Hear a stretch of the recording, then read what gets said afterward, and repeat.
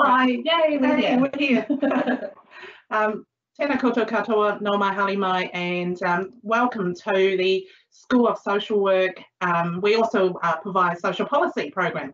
So I'm just going to introduce myself. My name is Dr. Polly Young, and I am a graduate of the Master of Applied Social Work um, at Massey University. Kia ora koutou, uh, no mai haere mai anō. Um, ko Hannah Mooney tōku ingoa.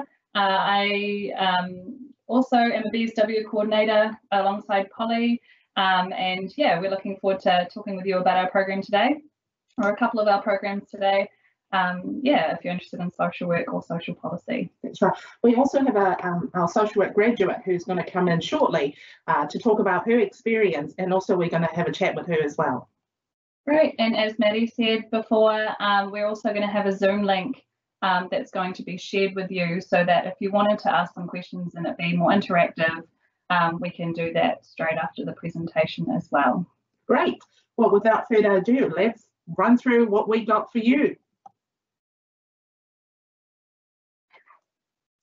So um, what is social work? Well, social work is actually really diverse, but obviously we've got the word social and work there. It's about engaging with people, particularly to address people's challenges and enhance well-being. And I think one of the things that you might actually been um, seeing a lot is um, during the COVID-19 lockdown, we've got a lot of essential workers, including social workers out there supporting other people, promoting social change, uh, helping other people to achieve social justice, um, so we under the International Federation of Social Work Global um, definition. So it's um, it's a very important um, career for people who are, um, you know, feeling like you, you've got something that you can offer and help other people. So we, um, as you can see, we're a practice-based profession. So we are out in practice and once you qualify with a social work degree, you can actually go out and practice and work as a social worker. Um, so no, you don't have to do postgraduate study, although you are obviously encouraged to continue to professionally develop or personally develop. Mm.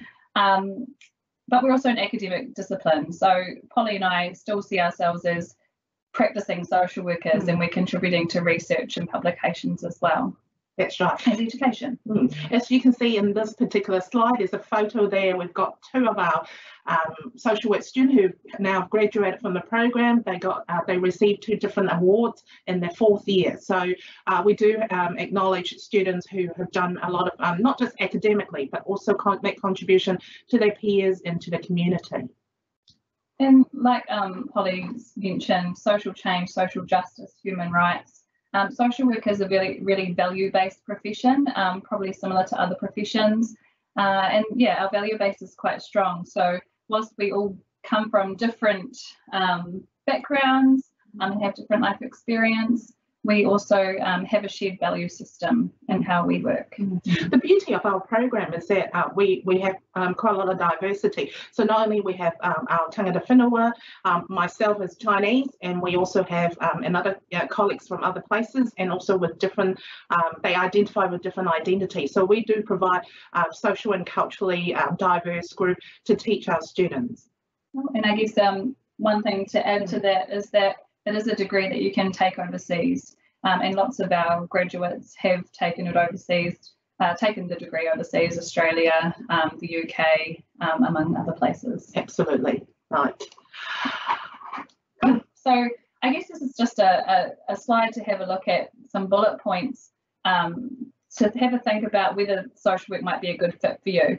Um, often when students are looking at applying for social work, um, they're thinking about, I guess, what kind of qualities or person they are in their own families or in their own communities. Lots of people talk about being um, kind of the person that people come to um, for support, or they're a good listener, um, or they're the person that coordinates um, things in their own families. Um, and so some of those qualities are auto, like, sort of naturally there, and so they're thinking about how they can utilise those in a practice-based profession. Um, so are, are, those sorts of qualities that you come with? Um, it takes lots of different qualities, of course, to be a social worker, um, but those might be your kind of first points of call. And it, it is a really rewarding career, and over 90% of our graduates they find uh, work within six months. And, and and some of the works is not just within the uh, practice area; they go into social policy, they go into government, and even go into further research. So it opens up different angles and, and avenue to people uh, who graduate from our program. Yeah, so I guess it's also, it might appeal to you if you just want to make a difference. Mm. Um, it might be at an, at an individual level, you really just want to work with people in your local community, or you might want to make a difference, as Polly mentioned, in government, Mm. um, structural change, Mm. um, having a say um, to kind of make the world a better place for everybody, I guess. Um, you also, it's one of the things about our degrees, people talk about how um, it can be quite life changing for themselves or transformative for themselves. Um, and as a career, um, it's helpful, I guess, to be open to both professional development, but also your own personal development, you know, challenging some of our own perhaps fixed ideas about the world and. And learning new knowledge. Mm. One of the um, feedback that we get a lot from the uh, community, uh, who an organisation who hire us graduates to become social worker, is that um, our social work program also have a strong fundamental um, element of social policy. So student not just coming out knowing how to practice, they actually know how to integrate the macro system uh, to articulate some of the issues that in relation to poverty, uh, human rights, um, and, and even like in, in our current situation, disaster management. Um, so in a sense, you know, a Massey social work degree can offer you not just practice, but also a wider uh, macro understanding of the world, which, you know, ma- makes it more worthwhile, um, you know, for people to pursue that. And the picture on this slide is um, some of our students who are, who are currently studying with us. I think Mm. one who's just recently graduated actually, Mm. um, and you might have seen them in some of our promotional material as well. Great, so obviously a bit of a wordy slide because it's quite hard to capture what we do and some of the troubles I think that social workers come across occasionally is people not sure what social workers do and it's quite hard to capture because actually we work in lots of different areas um, and the next slide will show you a, a few of those different areas that we work in. Um, but sometimes yeah, I guess sometimes people come across social work in one particular area and think that's the only place that social workers work. Mm. Um, so broadly, what do we do? Um, we inquire, we gather information, we explore and we evaluate. So we are information gatherers, we assess things, we work alongside people to find out, I guess, what's going on for them um, in order to work alongside them to help them make the changes that they want to see for them. So in order to do that, we have to be, I guess, good gatherers of that information. We need to have the correct information and we really want to understand it from their perspective, not just um, from our own or necessarily from other people's, although we might also gather information from other people as well as part of that. Mm. And we're also doing that by challenging the system. You know, like that, that's why it's so important that we've got the social policy stream in our social work. Um, if you think about, you know, there's been lots of information, lots of issues about how to reduce poverty. While, you know, as a micro service or social service, you might provide some money and some support uh, for people to kind of um, help them out in the interim. But in the bigger picture, you know, what can we do in order to change the system to make it better? And this is where social work comes into play, not just doing micro practice, but also going out there doing advocacy, um, empowerment, you know, some of the sort of social actions and, and, and through transformative way to change the um, government system, government policy to help looking at redistribution of resources. So um, networking, understanding our communities well, and connecting people with resources is really important. Um, some of those really practical supports that social workers might help with, you know, connecting with schools, um, connecting with workplaces um, and supporting that person and within their own social system or Mm. Um, we also might be involved in kind of a therapeutic approach, um, you know, kind of like whether that's one-on-one or working with families, groups of people, um, as I mentioned, to work with them on things that perhaps they want to see change, whether it's within their own life or within their own communities or um, even nationally and internationally sometimes. Mm-hmm. So in some way, if you look at over here, we've got this little fully here, a house. Um, it is about working holistically. So we're not just focusing on one person, we're focusing on the whole whānau, whole community, physical, mental, spiritual, um, and you know extended family and their extended community in terms of health and well-being. So social work is not just one aspect. Often that makes our job quite diverse, but it can be quite hard to pinpoint what we do. But we actually do really, really well holistically. So we recognise that things interact. Mm, yeah. Um, rather than focusing it on one thing, we recognise that other things impact on that, and that particular thing impacts on other things too. That's right. So we talk quite a little bit um, about social policy. So obviously our School of Social Work not only offers social work, but we also offer social policy as a discipline. Um, so policy and social policy are actually really important in our society.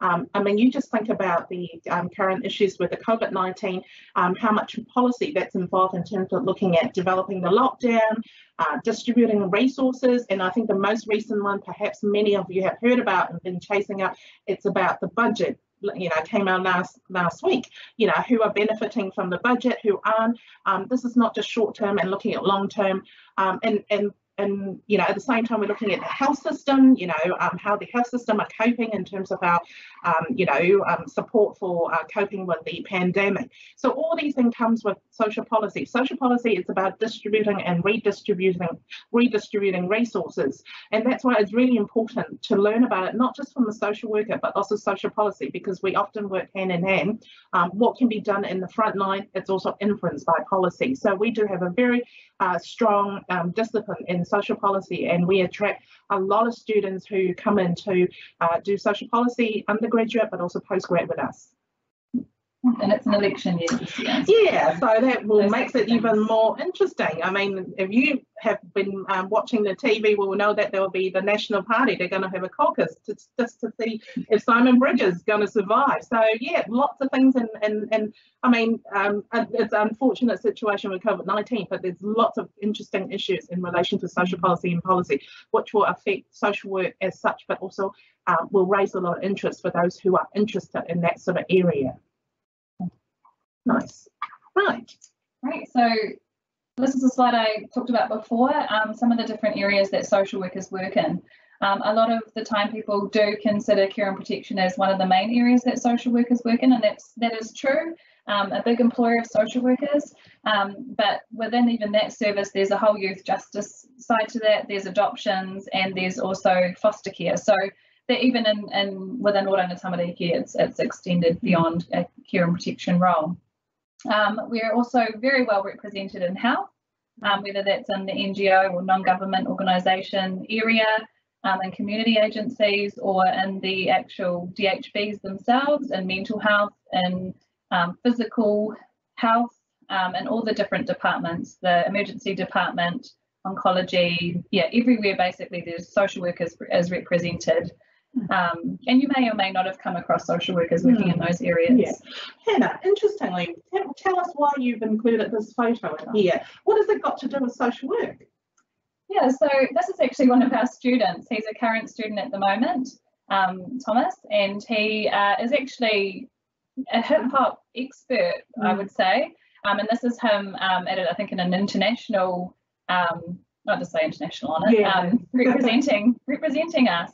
Um, we liked to profile him because I think one of the things he's really interested in, and, and lots of he's interested in lots of things, but he's quite interested in that combination of hip hop and social work, um, or dance and social work, expressive arts and social work. Mhm. Um, so one of the cool things about social work that I think um, we've highlighted here is our scope of practice is really growing. So whilst we have our kind of traditional areas that we work in, Mhm. um, in care and protection, working with children, working in schools, working in health, working in, in prisons, um, or policy roles, management roles.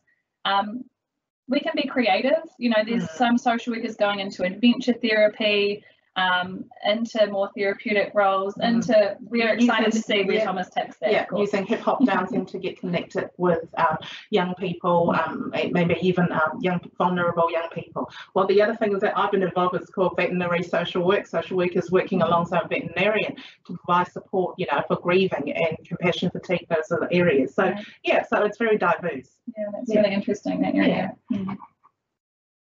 Wow, who are these two people there, Hannah? Um, so these two people are, are some, a, a couple of people that we recognise as the founders of our program, and our, our program is is the longest running social work Mm. program in Aotearoa New Zealand. That's still running. Um, so we've been going for over 40 years now. I think it was 1976 Mm. was when we were established. Um, and yeah, it was with um, Merv Hancock and Ephra Garrett, um, who had a vision for a social work qualification that represented a whole lot of different things, that represented well in policy. We've got a strong policy stream, Mhm. hence the policy that um, Polly was talking about, um, that would be have strong elements of, I guess, bicultural practice coming through that would be really closely connected to the community. Um, and also very strong kind of critical um, critical writers, critical thinkers, mm. critical reflectors, which I think we are pretty well known for too. Yeah, yeah. Yeah. yeah, and the uh, our Bachelor of Social Work is a four-year degree with two field placement, and which student can undertake either in Albany as an internal student or down at Palmerston North as internal or by distance. And Heather, I think you are the graduate. Um, Man, not many, many, many years ago from our BSW program. Not that many years ago. um, we also have our Bachelor of Art, come, which comes on, uh, social policy comes in our school as a three-year program. Now, if you decided that you might just still want to do a BA, like myself, I did a BA degree at, mm, you know, at another university, and I decided well, I really wanted to become a social worker. You can then also do the Apply Master program, which can be off, which is offered up in Albany as internal cohort or by distance, which is through Palmerston North. Um, so you can study full-time or part-time. Um, so yeah, so we, we do have a few options. If um, the bachelor degree might not be what you're what you're thinking at the moment, you can also think about the apply master after. Great. So we are a selected entry program. So sometimes this takes a little bit more time and thought when you you are applying. Um, so there are a few items that you have to submit, and you know everything else that involves um, enrolling in admission, admission to a university. Mm-hmm. Um, so one of those things is there's just some generic sort of application form information. Um, we ask for a curriculum curriculum vitae or CV um, with the most, I guess, your most up to date version of that because that's something that the registration board also requires us to do. So it becomes part of our process. Um, a short essay, or we call it a supporting statement, just ask, uh, explaining why you wish to enter social work. Um, and this can be quite personal, you know, what, what is it that has drawn you towards the qualification? Um, it might be quite in depth or it might be quite straightforward and simple. Um, we get a whole range and that's fine as well. Um, two character references, usually you nominate somebody, you nominate this in, in your um, admission process um, and provide um, emails for these people and the reference gets sent directly to them. Mm-hmm. Um, and so it has to be somebody who's known you for a year or longer. Um, and can't be your friends or your family members. or family yeah. So sometimes that's a bit challenging. So if you have any if you get stuck on any of this stuff there are people that you can ring at Massey or you can also contact us. Um, in fact sometimes it's easier to contact us because yeah. we can help troubleshoot those things. Definitely yeah. Um, we also police check. So again one of the things that's come in with social work registration um, is that yeah, everybody goes through police checks, yeah. whether it's applying for a social work registration as well. Mm. Um, so some of the questions in there, well, there's a fit and proper policy that the registration board has mm. um, that, yeah, explores some of that stuff around the conviction, if you have any convictions and things like If you have any worries or concerns about that, or you just want to ask questions about that, more than happy to um, chat on the phone yeah. or answer emails as well. Yeah. yeah. Um, so the other two was just um, looking at fit and proper concern as we talk about, we do police check and also for those who are international students, we do have to look at IELTS or TOEFL. Um, I, am just going to go to the uh, second last line because I know our um, graduate is already waiting for uh, to come in and talk to you guys. Um, if you're interested in social work or social policy, um, there are three people here that you can contact. Obviously, you can contact Larry Cooper, which is our associate head of school, but here we've got Hannah Mooney next to me and me, Polly Young, and you can contact us because we're the uh, BSW program coordinator, or you can send an inquiry to socialwork at massey.ac.nz. Um, for more information, there's also a link here, uh, but I'm sure there will be lots of people uh, behind the scene to know that you can ask more questions in terms of um, anything in, in relation to the program.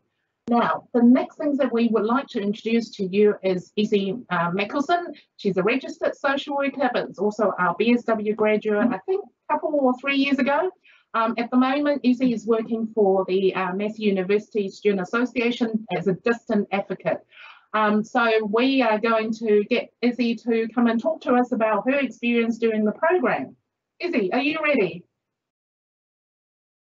Yeah, I, I, think I'm good. So, kia ora everyone, my name is Izzy, um, and yeah, I completed the Bachelor of Social Work with Massey in 2018.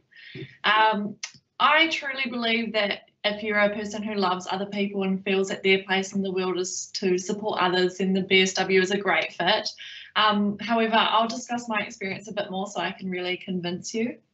Uh, so I decided to study social work after uh, working in a homeless and disabled centre in Vietnam. I found that finding um, and seeing others smile and laugh or reach an incredible milestone was the was the adrenaline rush for me others feel when they bungee jump or do other crazy things. Um, and then having grown up with cancer playing a big part of my family's life, I was really excited when I found out that oncology social work was a thing, um, as in working with cancer patients and their families as a social worker. So at that point, I was pretty sold on the degree and I left school and moved straight into it. Um, I don't regret this decision at all, and studying straight from school is um, something that really works for me. However, some of my classmates were 20 or, or, more years older than me, and studying at that age is what worked for them. So the degree is fitting for a range of people, and um, we were really a close knit group, even with this diversity. So across the four years, um, you'll learn about a range of topics. Realistically, not all of them are going to be your favourites. However, I'm confident you'll learn um, learn of some you didn't know you'd be interested in, and once that can of worms is open, it's a pretty hard one to close. Um, one of my favourite memories of the BSW was in first year. After a couple of social policy classes, I promptly approached my lecturer and told her I couldn't possibly be a social worker because, and this is a quote, um, quite frankly, I hate social policy. Um, and the lecturer encouraged me to stick with it. And I'm pleased to say that by the end of the degree, social policy and I had a bit more of a mutual understanding. I still can't say I love social policy, but it is pretty cool now as well. Um, I'm also pleased that nowadays I don't jump and run away from these sorts of things as much as I used to. Um, and the point of this story is to just be honest and tell you that it won't always be easy, but to trust the process and enjoy the realizations. So fourth year was my favourite year of study due to the flexibility and range of topics we were allowed to choose for our assignments. Um, this meant I could research areas I was really interested in. Uh, I completed assignments on domestic violence where men are the victims, uh, mental health in farmers, suicide prevention and sustainable social work. Although I chose this degree knowing I wanted to be an oncology social worker, the course provides the opportunity to explore a range of topics and I'm really grateful for that. Studying is way more fun um, when you get to choose your assignment topics. The two three-month placements are easily a highlight of the degree. Um, my third year placement was with the New Zealand Police. I was placed, placed with the iwi liaison officer and got to work alongside him in a range of preventive preventative initiatives to stop Māori from entering the justice system where possible. This was an area of social work I hadn't even considered um, existing until this placement. Uh, and I also worked alongside the family harm team, community police, frontline patrol and youth aid. Uh, so I can't promise you this for your placement experience, but I thought it'd be cool to add that um, the iwi liaison officer is also a sniper in the armed defender squad and I got to learn to shoot all the guns, so that was pretty cool as well. Um, my fourth year placement was with Mid Central DHB, where I got to work a caseload predominantly in the oncology ward. So, an absolute dream come true for me. Um, they basically had to pry my caseload from my fingers come the end of the placement. I loved it so much. And while in the hospital, I also got to experience social work in medical and surgical wards, neonatal rehabilitation, and the emergency department. And all of these areas require a different type of social work, and they're all really fascinating.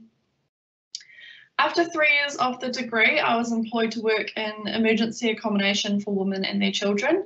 Most of the res residents in this accommodation were fleeing abusive relationships or were battling addictions to drugs and alcohol. Uh, when the manager hired me, she specifically pointed out that my social work training was a skill the hiring team could not pass up. And for me, it was incredibly rewarding to be an empowered woman, empowering other women through this role. Uh, I'm now employed as the distance advocate for students at Massey University with roughly 10,000 students falling under my care. I work with everyone from, uh, with everything from grievances and complaints to homelessness, mental health issues and relationship breakdowns. Um, my training um, and sorry, my training has also equipped me with the skill set to design and implement um, a mental health initiative, um, which is something I'm incredibly proud of and something that I would have found really useful when I was a student. So despite my young age, through my placements and jobs, I have worked with domestic violence survivors, gangs, youths, children, cancer patients, families, mothers, offenders, students, Māori, and the list could go on. The BSW has made me feel confident in my practice with a range of people and groups. Um, studying the BSW with Massey also provides a special opportunity to bond with your classmates and lecturing staff. The classes are small and the lecturers don't just stand up at the front and read off some cheesy PowerPoint slides. They give parts of themselves and that makes learning all the more interesting and personal. To this day, I still remember sitting in a lecture where Polly was sharing photos of her travel and work overseas. And I also remember the day Hannah announced her pregnancy. You build a beautiful relationship with the lecturers and I think it is very worth mentioning as it's a part of why the degree is such a wonderful experience. So to finish, I'd like to leave you with three points that I feel are pretty useful. Number one, Google the different roles you can be in as a social worker. I say this as many people only think of oranga tamariki when they think of social work. The range is crazy huge and to this day I can still find myself amazed at the places I can go with my degree. And number two, trust your heart. If you feel that really nice feeling when you see someone achieve a milestone, then the BSW is for you. This will get you through the challenging moments and the success you will experience with future clients will make every hour of study worth it. And finally, it is your passion that will see you achieve your success in this degree and as a social worker. As I wrote this speech, I'm aware that it may paint myself as a relatively high achiever and therefore maybe not so relatable. However, I wanted to assure you that I certainly wasn't the dux of my high school. I mean, I, I wasn't even close. Uh, I definitely got a couple of C's throughout my degree, and I most definitely maintained a very healthy social work around my studies. So basically, what I'm saying is that I'm not speaking to you today as a top academic, but I am as someone who has let passion lead the way, and I can stand by this as being the best decision I've made. Yeah, oh, thank you so much, Izzy. You know, um, I think I'm so pleased with your speech, and I think this demonstrates that you know you've actually gone through um, you know a lot of different ups and downs during your BSW, and look what you've turned out to be a very successful and very well prepped and you know um, and very respectful social worker. So we really thank you for that. Just one uh, one question before we move on probably to the next presenter. What is your next goal? Um, so I've I've started studying again. I'm now studying public health um, just to help me get into health social work.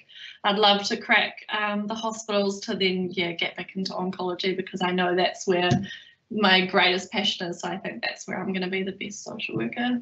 That's great. Yeah, we we we love the fact that as um, you know, studying doesn't stop at just one degree. You know, we we, we look forward to have you back doing more postgrad with us in our social school. But I know that you also um, um good to do, know that you're also doing public health. I presume you're doing it Massey. so with our well our counterparts so in our college. So that's really great. So have you got any other questions to ask Hannah? Uh, ask um, Izzy Hannah. No, but I just really enjoyed listening to you talking about it as it brought back some memories. Yeah. I wasn't expecting that one to pop up, but yeah, um, yeah, no, um, thank you for that, Izzy. It's really nice to hear your recent experience. You know, as mm. Polly mentioned, I was a BSW grad, but my experience goes back a little bit further, so it's nice to have something a bit more recent. Yeah, yeah, and I mean it's great to hear your reflection of. Um, you still remember our presentation and Hannah's great news, you know. So, and I think one of the good things about the BSW program, it's small enough, but it's um, intimate enough that we can um, know students really well. I know that I bumped into Izzy and her other work a few times, and we stopped by while having a chat about your placement. So um, it's always good to kind of know the student, um, you know, in the area, and then we can catch up with them. Um, and, and, and that's not just about pushing them to do their assignment, but it's also giving them a little bit of that personal touch and knowing that we're here to support you. Yeah, yeah, that's great. Thank you, Izzy. Thanks very much. I think we just have one more one more little bit on, on our slide just to remind those who are listening. So I'm hoping that we can go back to our last slide, if that's okay. We're still sharing. All right. So awesome. Um, so as you heard um, Izzy's story, um, if you want to talk to Hannah and myself for a bit longer, we actually have organise another room for you to meet with us. Uh, if you can see on the slide on the corner down here, if you want to discuss the BSW further, please join me and Hannah on Zoom. Um, and I know that our lovely colleagues who are behind the scene uh, it's probably um, provided you with the Zoom, um, Zoom number, but it's down right there, 956 9520 0766. So Hannah and I will be there um, um, talking to you guys for a little bit more. See you soon. Thank you very much. No mai haere mai and welcome to the talk on health science at Massey University. I'm Associate Professor Wyatt Page and along with Dr. Judy Thomas and our discipline leaders, we will tell you about the programs in health science at Massey University. In this talk, we'll answer the question, why would you choose to do health science? We'll look at employment opportunities in the health sector. We'll look at in detail our Bachelor of Health Science and its seven exciting majors. We'll look at some of the alternative pathways to a degree program, and then finally, we will summarize all of this information. So why might you want to do health science? Perhaps you've asked this, the question, why are some people healthy and others not? Perhaps you've asked the question, what does it take to prevent disease and improve or maintain good health? How might you go about promoting health and well-being to the diverse New Zealand population, including those with disability? And how do I navigate the complex New Zealand healthcare system to get the best value out of it? And last but not least, where might I go to answer these questions? Here's three did you knows. Did you know that New Zealand has the highest prevalence of asthma in the world? With over one in seven children getting asthma. But when we look at the rates of children from rural population and farmers, they're much lower than in urban areas. Did you know that in 2018, the Accident Compensation Corporation had almost 240,000 workplace injury claims? And those industries claiming the most often were agriculture, fishing, and forestry. And finally, did you know that New Zealand has over 60,000 stroke survivors? And stroke is a major cause of serious disability. But one of the best ways to recover from stroke is to have a good rehabilitation program. So, what are the 21st century health challenges? We're all very, very familiar with COVID 19 at the moment and therefore world pandemics. And that's a serious problem currently but it's still sitting in the backdrop of climate change. This is not going to go away. We still have serious concerns around food production and distribution. On paper, we have sufficient food to feed the world's population, but we can't distribute it effectively, and there's an awful lot of wastage. And finally, our fourth major challenge is global urbanization. More and more of the world's population are living in urban settings, densely populated cities, and this is putting significant stress on the individual's health and on the environmental health as well. So what are employment opportunities like in the health sector? Well, career prospects in general health are excellent.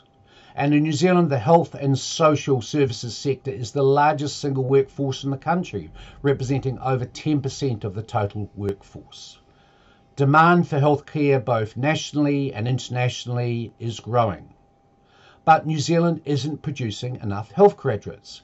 Currently, 42% of our health workforce is trained overseas. We need to train more local health workforce workers.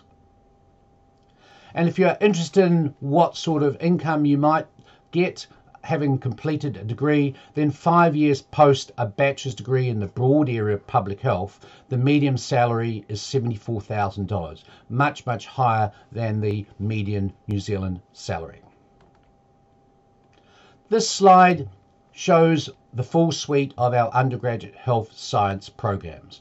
We have two certificates, which are entry pathway. We have the Bachelor of Health Science with its seven majors, and we have two graduate diplomas for those who have degrees. I'm now going to pass you to Dr. Judy Thomas, who's going to tell you in detail more about our exciting bachelor's program. Koutou, my name is Dr. Judy Thomas, and I'm the program leader for the Bachelor of Health Science. Massey's Bachelor of Health Science is a unique multidisciplinary program offering a wide range of health majors for you to choose from. The interaction of factors affecting health and well-being is really complex, and this program will give you the skills that you need to help address and solve some of the major health challenges facing New Zealand and the world. It is not a medical program. Instead, this is an interdisciplinary program including study of science and bioscience, but also the social and psychological determinants affecting health, public health principles, and health of Māori.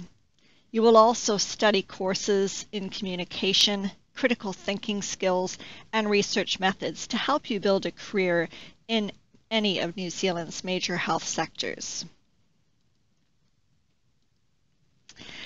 There are no special entry requirements for this program beyond those that you would need for entry into university study. The degree is 360 credits, that is 24 courses and each is worth 15 credits. That's equivalent to three years full-time study, but you can choose to study part-time to fit your study around work and family commitments. Of the 24 courses, 12 of the courses are compulsory core across all of the majors. And then you have eight specialist courses specific to your major and four electives you can choose to build a program around your special interests. So these are the core courses. Three of the courses are health science courses. Three courses are related to public health. Two courses are around Māori Health Foundations. And then you have other courses related to epidemiology, research methods, and systems thinking for health. In your first year, you will study six of these core courses and you will be allowed to choose two electives. As you go into two and 300 level courses, you can see now that you're going to be able to specialize more in your major and you will be taking eight courses specific to your major and choosing two more elective courses. A lot of the courses have professional practice integrated into their study so that when you graduate from the program, you can really hit the ground running in your chosen career. The Bachelor of Health Science is delivered primarily by distance using online blended study modes. It is a flexible program so you can fit it around your work or other family commitments.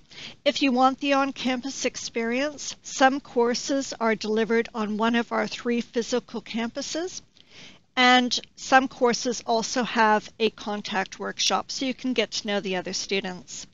Massey University has long-standing reputation for being a leader in high quality distance learning and is known for its pastoral care of students whether they're on-site or distance.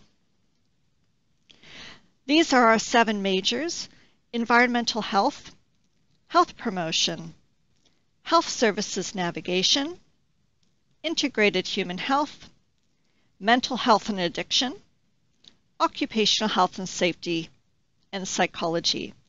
We will now learn more about these majors from each of our major leaders. Hi all, my name is Nick Kim and I'm the subject leader for the environmental health major, which is the area to do with the protection of human health from hazards in the natural and built environments. As such, it's a very broad major, and in the eight courses that make it up, uh, you'll study things like uh, toxic substances, uh, food safety and human health, environmental health law, epidemiology and communicable diseases, uh, safe drinking water and waste treatment, environmental monitoring, of how to measure for things that might harm human health, uh, keeping people safe from the excess effects of noise and how to measure for too much noise. And also even uh, how to protect people after disasters occur, like an earthquake or tsunami. So protecting public health after those types of events. So quite a broad range of uh, topics within the major. And um, the main reason for that is that we're training a very practical degree towards two main careers. One is the environmental health officer, who work at city or district councils, and the other is a health protection officer who work at district health boards, hospital boards. Those uh, HPOs, the second category, have been quite visible this year because they also uh, have a role in contact tracing. Um, but in fact, HPOs and EHOs have been with us for many years, uh, working in the background, uh, doing a wide range of jobs, um, always with the focus of protecting human health. Uh, this major is also offered as a graduate diploma of environmental health, uh, where uh, students with a suitable bachelor's degree, usually in science or health, can take the same eight courses uh, to have or get a graduate diploma, and that will also qualify them to become a, an EHO or an HPO. Um, so if you're studying in this, er this area, uh, we've got a mixture of students who are doing the Bachelor of Health Science with the Environmental Health major and the Graduate Diploma of Environmental Health. All of the courses can be studied at distance, uh, but for five of the eight courses in this major, um, we also have a contact workshop component where uh, you'll need to travel to Wellington uh, once during the course uh, for between two and five days. Uh, here you'll get to pick up some very practical skills and also meet all of the other uh, students who are studying with you um, from around New Zealand and into the same major. If you do make the choice of this major, I, I look forward to seeing you uh, during one of those contact workshops when you come here to Wellington. Tēnā koutou katoa, ko Suzanne Phibbs tōku ingoa. I am the major leader for the Bachelor of Health Science major in Health Promotion. Graduates on this program will learn about creating healthy environments in the places in which people work, live and play. They will be able to design, implement and evaluate health promotion programs. Our graduates have found employment in iwi health service providers, Pacific health service providers, non-government organisations, DHBs and the Ministry of Health. The Bachelor of Health Science major in health promotion at Massey University is aligned with the competencies for health promotion that are set out by the Health Promotion Forum of New Zealand. So why don't you come and join us? We would love to see you. Ka kite.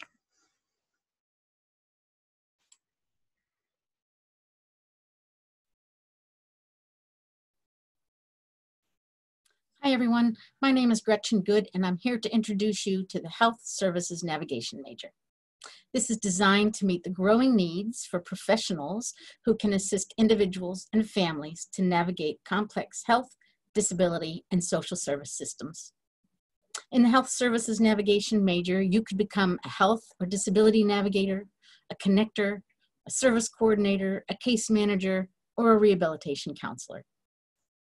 You will learn skills such as advocacy and case management, leadership and teamwork. You could seek a career in corrections, addictions, mental health, disability, education, policy, public health, community development, health, or rehabilitation. Why study health services navigation at Massey? Well, most of our courses are offered from a distance, and we are flexible and accommodating. Our courses are generally small and you can get a lot of individualized attention. And Massey is the first university to offer this course in New Zealand.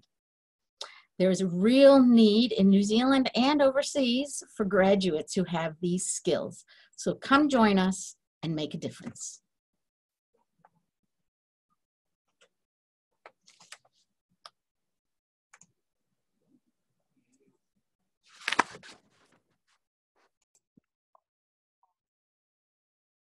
Tēnā koutou, I'm Dr. Barry Palmer and I'm the major leader for integrated human health in the B Health Science degree. And I'm based at Massey's Wellington campus. The integrated human health major gives students the opportunity to study a broad range of subjects uh, reflecting the multidisciplinary nature of health sciences. Uh, so uh, within um, health sciences, um, there, within this major, there's an emphasis on um, three broad subjects, uh, community nutrition, uh, sports and exercise, and sleep-wake studies. Uh, so you study all of those uh, subjects and um, using the electives uh, within the major, you can put a particular spin on it uh, to reflect your interests. The integrated human health major was originally designed for students um, that were intending to go on and do postgraduate studies, for instance, master's or PhD, but it's also a, an excellent major for those who are thinking of careers in health and wellness clinics, uh, as health coaches, um, as health advisors in major corporations, and also with um, further study, you could teach health and health related subjects at high school. So we think this is a, a great opportunity uh, for those that want a broad-based um, flavour to their degree um, and an interesting multidisciplinary option uh, in your studies.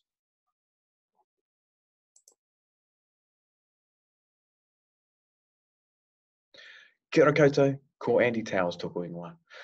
I co-lead the mental health and addiction major at Massey University with Dr. Chrissy Severinsen. This major is for those of you who are looking to take on leadership roles in the mental health and addiction sector in Aotearoa, New Zealand.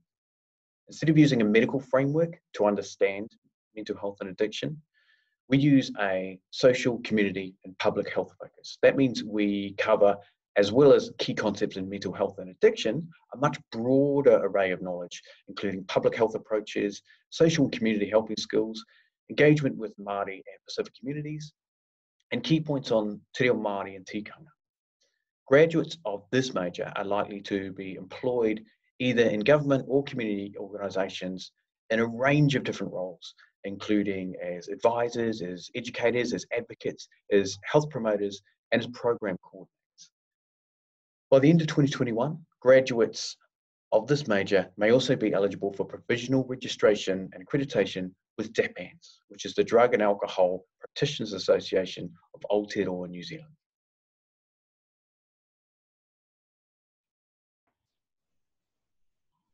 Tēnā koutou, my name is Associate Professor Ian Laird and I lead the Occupational Health and Safety program at Massey University uh, and coordinate the Occupational Health and Safety major in the Bachelor of Health Science degree. As we spend a third of our lives at work, workplaces contribute significantly to our health and the burden of ill health and injury in New Zealand society. Creating healthy workplaces is a key outcome and focus for Massey's Occupational Health and Safety program and is fundamentally concerned with the interrelationship of people at work, the work they undertake, and the work environment. In the Occupational Health and Safety major of the Bachelor of Health Science, you will learn about hazards and risks in the workplace, assessing and managing those risks, and creating healthy workplaces. Graduates from Massey's Occupational Health and Safety programs can be found as health and safety managers, advisors, and coordinators in government departments such as WorkSafe New Zealand, ACC, and New Zealand Defence Force, also district health boards, regional councils, as well as small and medium-sized enterprises and larger businesses. The eight courses of the Occupational Health and Safety major are internationally accredited by the Institution of Occupational Safety and Health UK, which leads to registration in New Zealand as an occupational health and safety practitioner. The Massey University major in occupational health and safety in the Bachelor of Health Science reflects the multidisciplinary nature of occupational health and safety and is one of the few qualifications where graduates make a significant difference in preventing injury and ill health in the workplace.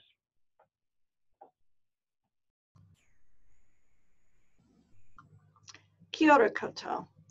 The Bachelor of Health Science Psychology major is distinct from the BA or BSc in psychology as you are able to combine a multidisciplinary study of health with a strong applied focus in psychology.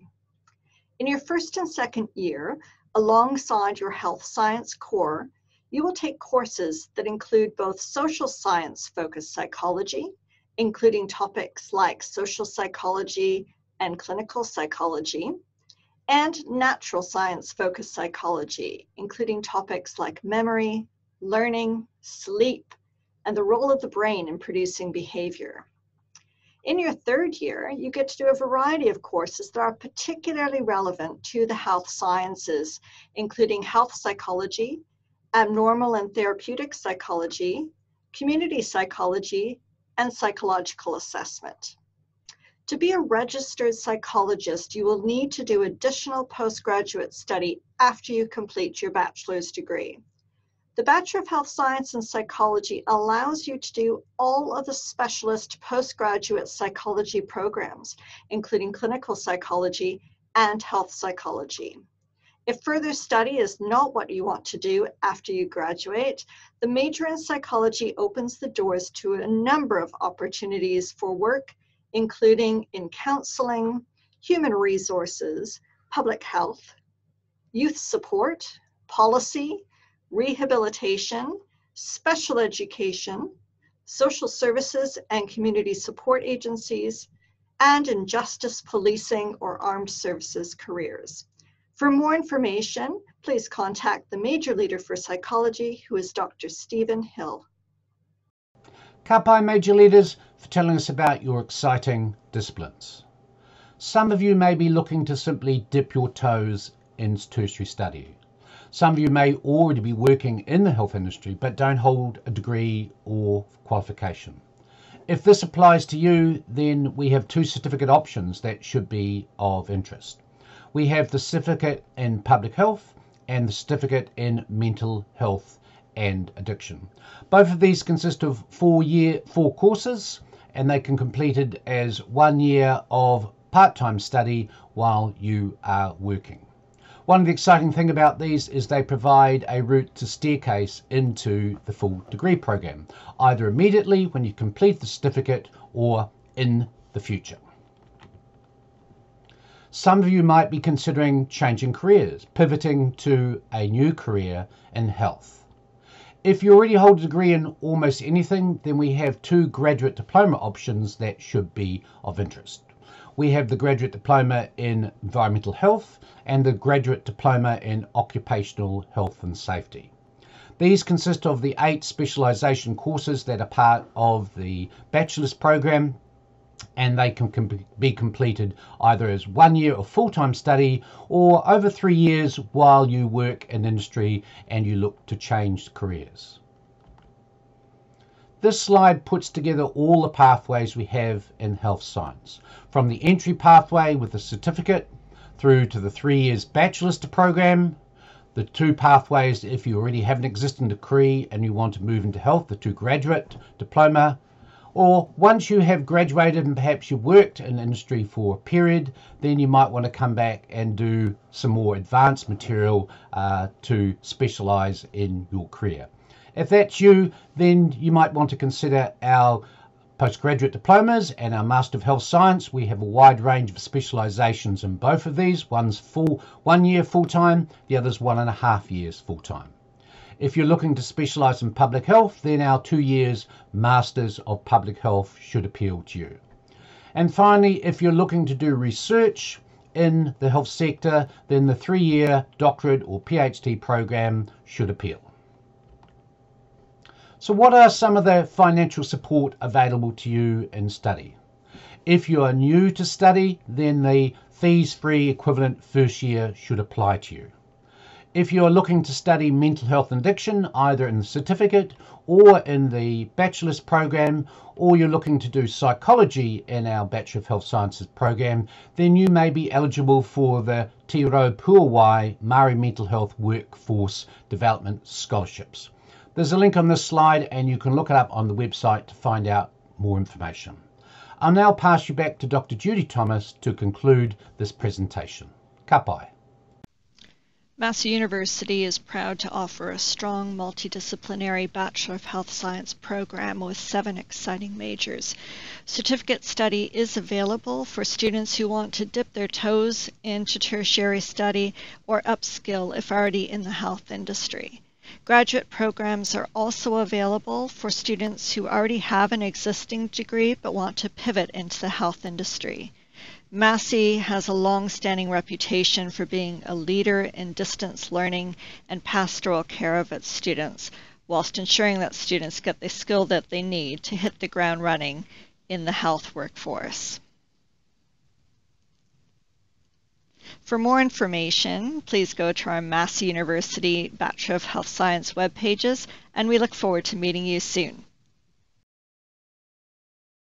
Tēnā koutou, uh, ko Andy Towers toko ingoa. My name's Andy and I'm here to give you a little bit of information about the Certificate in Mental Health and Addiction at Massey University.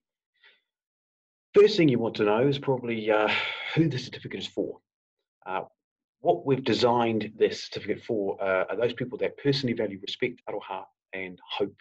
And that may sound a little bit trite, but that is exactly who we need in the mental health and addiction sector right now uh, those values are absolutely paramount in turning around what we have uh, in terms of the issues and the barriers we have for people to seek well-being. Uh, secondly, we want to have those people in the certificate who work, want to work purposely with others and challenge the, the, the status quo and the social injustices and the exclusion that we currently see in the sector. So if you're passionate about social justice and about um, inclusion of others, then we want to see you. Third, we want to see those people who really care about promoting and sustaining mental health and well-being, and not only in individuals, but also in whānau and in communities. So our focus in this sector and in this certificate is not only about individuals, it's about the spectrum from individuals right through to society. Now those people could be school leavers, they could be people uh, leaving school and thinking, I'm not sure what I want to do, so you can dip your toes into the area with this short certificate. Um, they could be those already working in the sector who just want to upskill, because a number of people working in the sector don't currently have uh, qualifications but are seeking them. Um, or it could be other people who are working and just in a different area and they want to retrain. Um, that is exactly who we want. Uh, and if you sit in some of our classes, what you'll see is some of our students are ranged from 18 years old through to 60. So that is who we want. We want you if you're passionate and caring.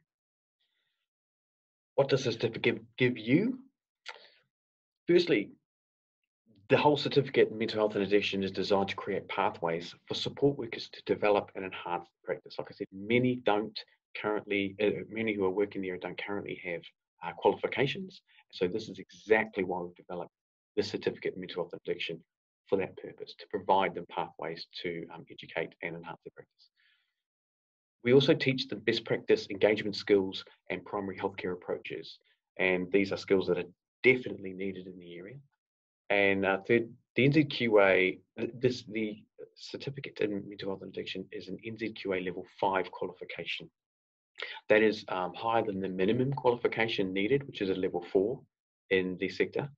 And also being a level five qualification, it means that afterwards, if you want a little bit more training, you can seamlessly transition into our level six bachelor's degree. Can't do that with a level four qualification, but you can do it with our level five. Straight into a bachelor's degree and you would have already completed some of the core courses. Now, what skills are we talking about that this is delivering? The entire certificate and the wider major in mental health and addiction in our bachelor's program is designed around the DAPAANZ foundation competencies for support work. And uh, is the Drug and Alcohol Practitioners Association of Aotearoa New Zealand. And they have a set of very clear competences they, they want to see in graduates. And that's exactly what we've designed this around. Secondly, um, Te Pou is the um, uh, Mental Health, Disability and Addictions Workforce Development Agency. And they have a Let's Get Real skill set that they would like to see in the area and all graduates. That's also integrated throughout our certificate and also our major in the Bachelor of Health Science. And Matua Raki Addictions training materials are what we use to provide um, very clear guidance on um, uh, interacting with people with addictions. And Matua Raki is the addictions face of Te Pou. So we are using uh, information, materials, and guidance from the best heads in the area. Now, what is the certificate? What's the Cert MHA? Uh, like I said, it's an NZQA Level 5 certificate, um, and that means it's 60 credits or four courses. Now, we've designed the certificate to be completed part-time. And so um, a, a, a normal full-time workload for a bachelor's degree is eight courses across an entire year, four in the first semester and four in the second semester.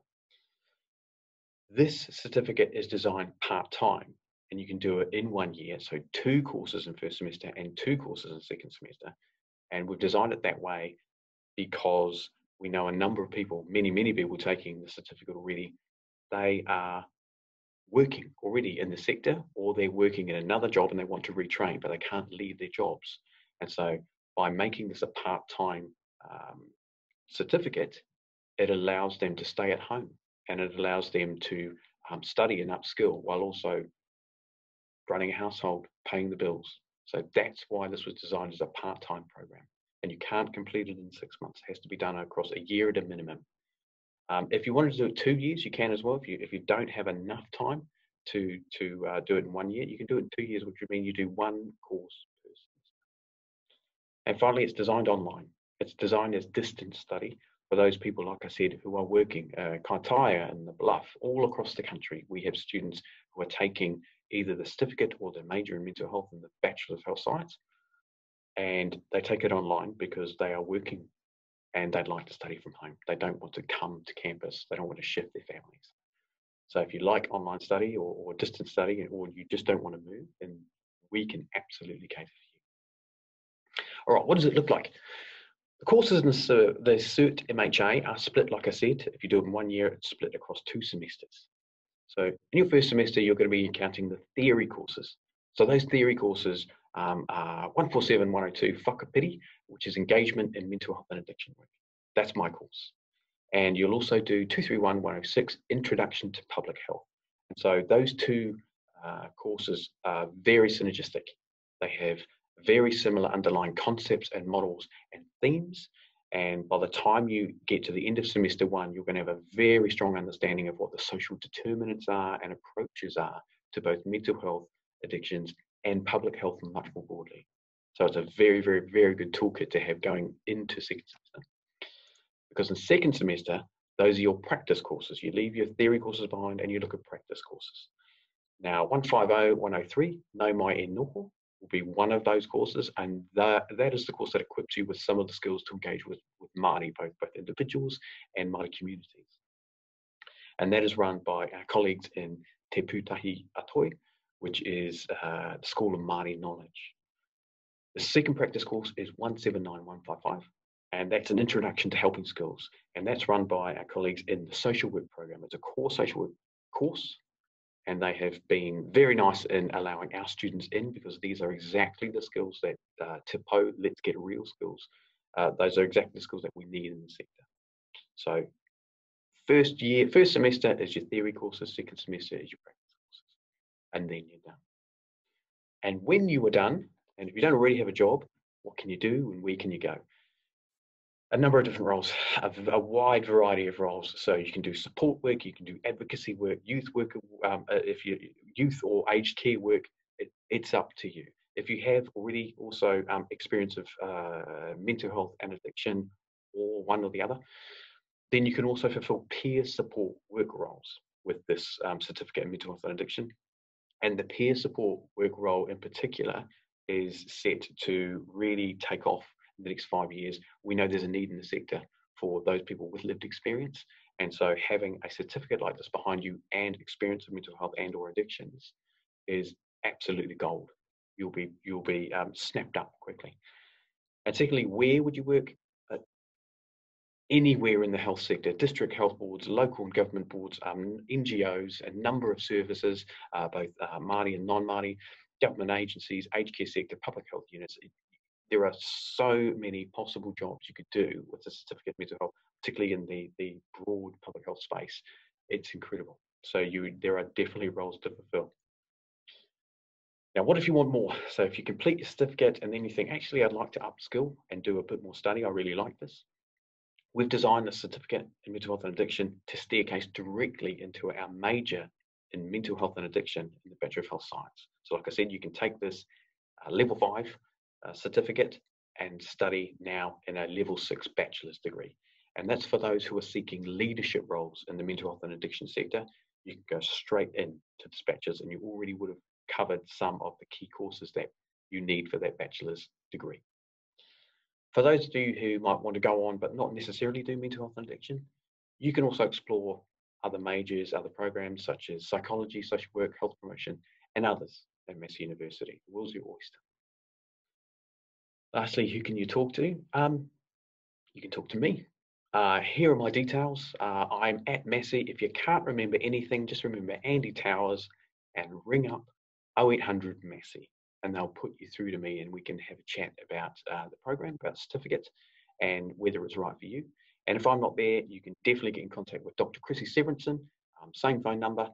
Uh, Dr. Chrissy Severinsen is my co-lead for the broader mental health and addiction program.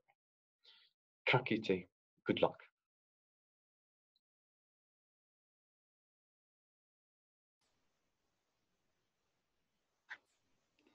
Tēnā koutou katoa. Nō te kune nā ki puri huroa ahau. He aho rangi tō hono ahau ki te ora tangata. Ko Mary Brenny, tōku. Thank you for your interest in the Certificate of Public Health. We are really proud of this program and the ways that it provides a foundational course to upskill the public health workforce in Aotearoa. It also provides a pathway to further study for those who are inspired to continue to study health sciences. Mm-hmm. In this presentation, I will introduce you to the program. If you want to find out more, please make contact with us. We are always excited to welcome new students into the study of public health. You may have been particularly inspired to study public health through the discussion of public health in the media during the pandemic. Public health has been defined as the art and science of preventing disease, prolonging life, and promoting health through the organised efforts of society. The study of public health is the right choice for anyone who wants to improve population health and promote health equity. This qualification is ideal for those already working in the public health workforce who want to achieve an entry level qualification. If you are already in a public health position, you may be able to apply for a fees grant from the Ministry of Health to support your study. This qualification is also ideal if you want to shift to a career in public health. So, what will you learn through this qualification? You will learn how to use research and evaluation to improve your public health practice and knowledge. You'll be introduced to community-based interventions and how these can be used to promote population health. You'll learn about public health policy and the role of advocacy in public health. A key aspect of the program is understanding health inequalities and learning how to address these to improve community health outcomes. The Certificate of Public Health is a Level 5 certificate you will complete 60 credits of coursework. This is four courses. The program can only be completed part-time. You can choose to complete over one year or take longer.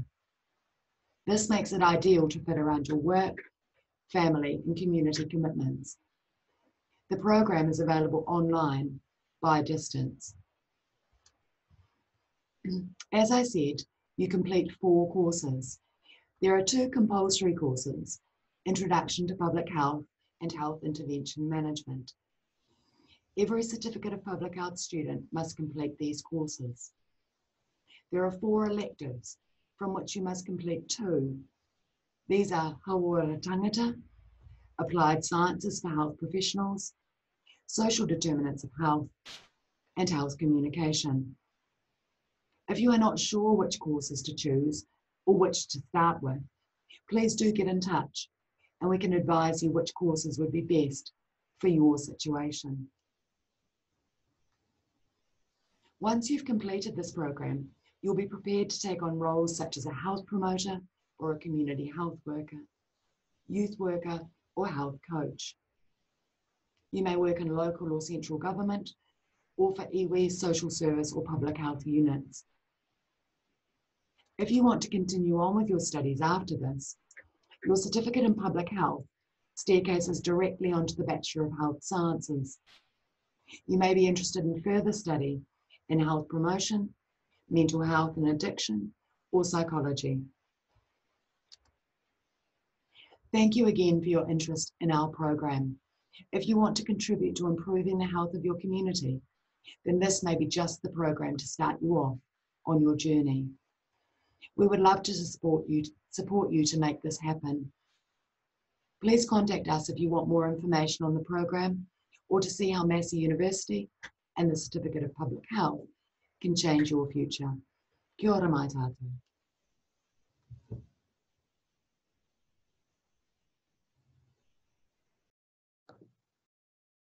Yeah, good evening. Um, kia ora koutou.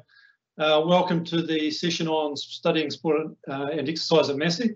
My name is Dr. Matt Barnes, and uh, just in a moment, we're going to be joined by uh, my colleague, Dr. Claire Badenhorst, who's based up in Albany. So Claire will fill us in on what they've got on offer up, up there. Um, we're just going to go through um, what it what it means to study sport and exercise, and we'll go over your options, um, whether you're interested in studying internally or distance. Um, we'll talk about some job opportunities and, and really the, the nuts and bolts of our program. And then ultimately, uh, to finish off with, we'll talk about um, why you should come to us and not go somewhere else. Um, so start with, why why study sport and exercise? Well, like many of our students, you probably, um, or you may be already involved in sport. Maybe you're an athlete, maybe you're coaching, um, or you might just be doing PE, and you want to see where your passion um, takes you. And personally, I think if you've got a passion for something, you're going to do far better at university than if you come and study something that just sort of you may be slightly interested in. Um, but if you've got a passion, you should follow that passion as far as you can. Um, often when we think about studying sport and exercise, we think about the glamorous side of that. And um, often we think about things like working with elite athletes. And now, while that's an option, uh, and there are plenty of opportunities out there. We've got graduates that um, are working with the Hurricanes, with New Zealand football. Um, we've had people working with the Phoenix, um, all sorts of different high, uh, high performing uh, roles across the country and internationally as well. Um, so there are opportunities in that sense. However, when we look at the, the issues facing society, we've got an aging population. Uh, so that's particularly true of the, um, the European population. Now the demographics are quite different for some other um, ethnicities. Um, but what we're seeing is as, as um, our population ages, there's a greater demand for physical activity and maintaining uh, function. So while there are opportunities to work with the elite, um, more more importantly, probably is ensuring that our ageing population maintains good function and health, and additionally, that our youth grow up wanting to be active. You know, the, the, um, the, statistics around inactivity are really, really poor in New Zealand. Um, so we need to be encouraging both ends of the spectrum to be as physically active as possible. And if we can do that, then we're going to have a much healthier, happier uh, society, and that's something we should all be aiming for. So when we thought about those challenges um, and the opportunities that the, the industry offers, uh, we redesigned our Bachelor of Sport and Exercise. And this is our main program that we offer at Massey. Claire will talk to you about an alternative program offered out of Albany um, in a moment. Um, but we looked at the challenges facing society and we looked at the job opportunities and we came up with some aims of this degree. And firstly, we want to influence youth and promote lifelong physical activity. And we, we reach that by um, ensuring our students, as they come through, they become excellent physical educators. So they can go out and they can influence the role or the choices um, that students, students make and the youth make. Uh, then we also focus on prescribing exercise and physical activity for the wider population. So that, that includes um, the elderly, youth, um, our high uh, high performing athletes. Um, and then thirdly and lastly, we want to promote and develop and manage sport and physical activity initiatives at the community and professional organisational levels. So that's encouraging people to participate in, uh, in physical activity. Maybe that's working with Sport Manawatu or one of the regional sports trusts or, or perhaps a national sporting body. Now, the Bachelor of Sport and Exercise can be done over three years or longer. We've got a lot of students who take it um, take it part time, often from overseas if they're athletes. They may be competing overseas, and the opportunity uh, to study by distance allows them that flexibility. There's no specific entry requirements, so as long as you can come to university, you can come and study the Bachelor of Sport and Exercise. What I would suggest is that if you're planning to do exercise prescription or physical education, you should be doing physical education and biology at school. Now that's not compulsory, but it's certainly going to set you up well for your first year. If you haven't done that, then don't worry, we give you everything you need to know um, in your first year. So the first year, as I'll talk about in the next slide, is really a foundational year. We set the platform for what you need in your second and third year and uh, and beyond, of course.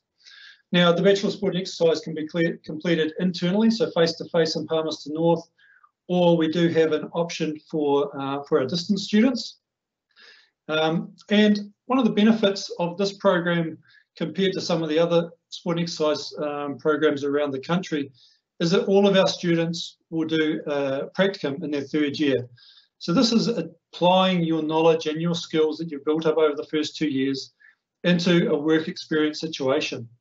And the benefit of doing this is not only to prepare you for, for work, but it also often leads to employment. Many of our students end up in jobs at the uh, at the location where they did the practicum. So this is really beneficial. Um, you get that that um, that work experience and a, a, great chance to network. okay, so what will you study when you come to us in the Bachelor of Sport and Exercise? All of our students in first year take uh, core topics. We do an, an, intro to physical education. So if, you, if you're doing PE at the moment and you sort of reflect on what your PE teacher does, then this is kind of teaching you that side of things. Uh, we look at Intro to Human Movement in Hauora, um, sort of a, a Māori perspective on human movement and health. We do a communications course because we expect you to be able to communicate in lots of different ways. We do some training principles, some functional anatomy and physiology in there, some sociology, so where does sport sit in sociology? And then you get an introduction to sporting organisations and, and their role in development. Along with this, what we would expect you to come out of from your degree, and probably any degree, are what we call the soft skills. And these are communication skills, the ability to interact with peers and others, having self-confidence and an ability to manage your time. Okay, you're not going to have someone standing over you the whole time, holding your hand, making sure you're working hard and doing doing your your work. Um, so these are things that you will need to learn and develop, and these and these tend to be the things that um, employers look for. So irrespective of your background and, and, the degree that you do, an employer really wants to see that you've, you've got these skills that are in red here because they're translatable into any, into any task. Now, the, the specialisations, we've got three specialisations in um, the Bachelor Sport and Exercise. Um, our first one, not to say it's our most important, it, it is the one that I look after, so perhaps I'm slightly um, biased here, um, but this is exercise prescription. And this is really ideal if you have an interest in um, improving people's health and well-being and perhaps improving their performance. Jobs that, that come from this are, are jobs like personal trainers, although we should be aiming higher than that. Um, team trainers, so those elite kind of roles that I talked about. Um, injury and disease rehabilitation. Um, one of the things we get our students to do in their third year in this um, in this specialisation, they get to work in a clinic and they'll work with people who may have had a stroke or some sort of cardiovascular event, or they may have multiple sclerosis or Parkinson's. So it sets the, the uh, students up very well for, uh, for anything they're going to face in real life. Um, you may also become a health and fitness advocacy, so going into businesses and setting things up, um, and also getting roles in um, primary health organisations. This specialisation is recognised by the Register of Exercise Professionals New Zealand, um, so that's the preferred register um, that most employers in the fitness industry are looking at. I should point out that the fitness industry um, is worth about $500 million uh, to the economy in New Zealand. The sporting uh, sport and exercise industry is worth over 10 billion. So it's actually a massive industry to get into, lots of opportunities. And this is the sort of thing you'll you'll learn in exercise prescription. So you're going to get a, a good idea about how the body uh, works and how it adapts to exercise. You'll get to um, understand how to assess and prescribe for a range of populations. There's some sport nutrition in there, and then you'll understand how the brain um, learns and um, develops um, skill acquisition. We give you all the skills that you need uh, when dealing with, with clients um, in a real world setting. Our second um, specialisation is physical education. This, like the last one, is available face-to-face -face in Manawatu. This is ideal if you want to become a PE teacher. Um, most of our, many of our students go on to secondary, teaching in secondary, but there are huge opportunities in the primary sector. Um, you could probably think back to who you had at primary school and it was probably an old lady teaching you. Um, we need to change that. We need to get youth who are in, uh, interested in physical activity into these roles uh, and make a positive change. Um, there's also opportunities to work as a school or community sports coordinator. A number of our students will go back to the schools that they've come from and pick up jobs um, working either as a teacher or as a community as a um, school sports coordinator.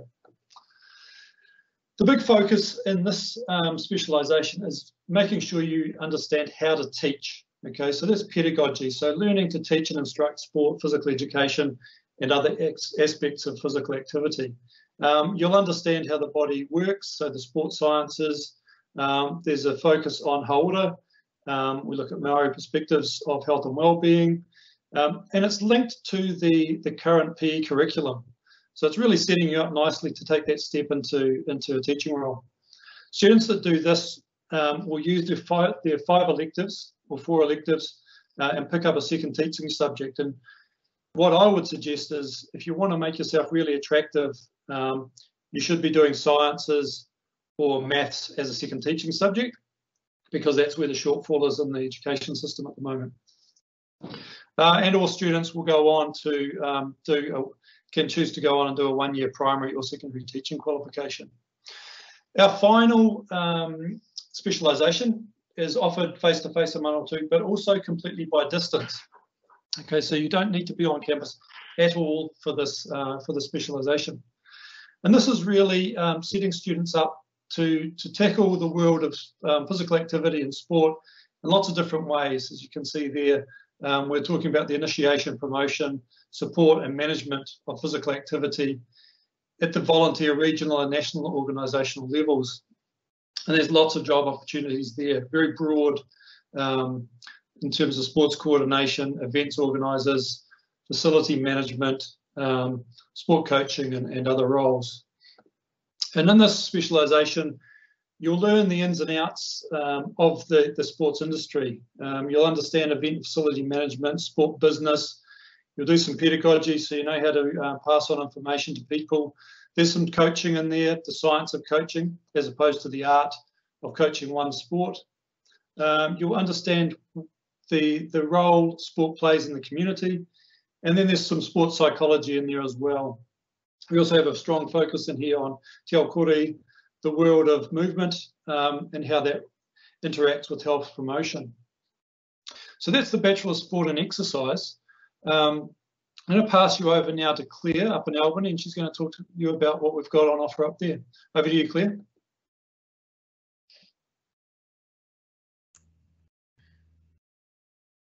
Hi, everyone. Um, thank you for having me and thanks for that introduction, um, Matt.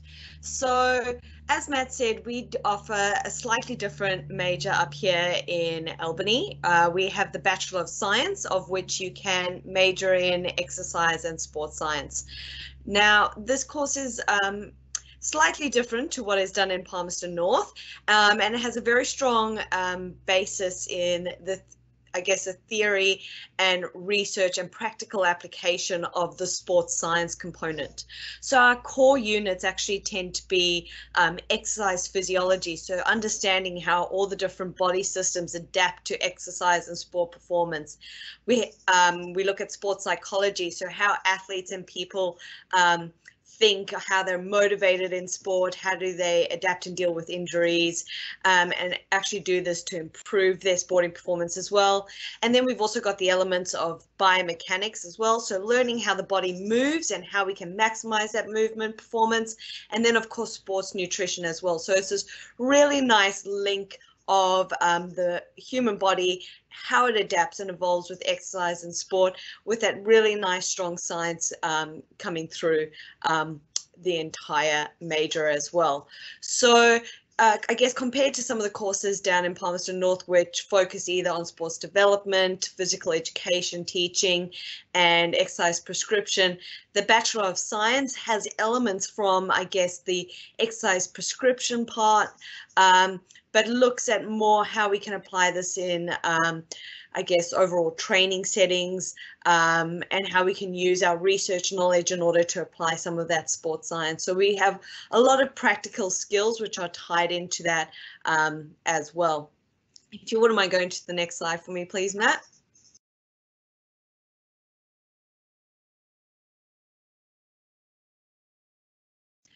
So this course is pretty much ideal for um, people that are interested in either studying in Auckland. Um, we also have a lot of our courses moving online, so you can um, possibly do quite a few of these courses um, through a bit more of a distance one, but we do offer quite a lot of internal teaching here um, at Auckland. It's done if you um, have that interest in sports science, and as Matt said, if you've got a passion within that area and you would like to pursue the area of sports science, but you're looking at something that can relate to maybe a, a couple of other science courses, this actually tends to be a really good major for you to enroll in and become involved in. So you're getting that element of strong scientific basis or broad scientific basis, which we often have in our first year, and then we actually get a bit more specialized with you in terms of your skill, your understanding, and your knowledge as we get into our third um, or second and third year, because this is effectively a three-year major as well.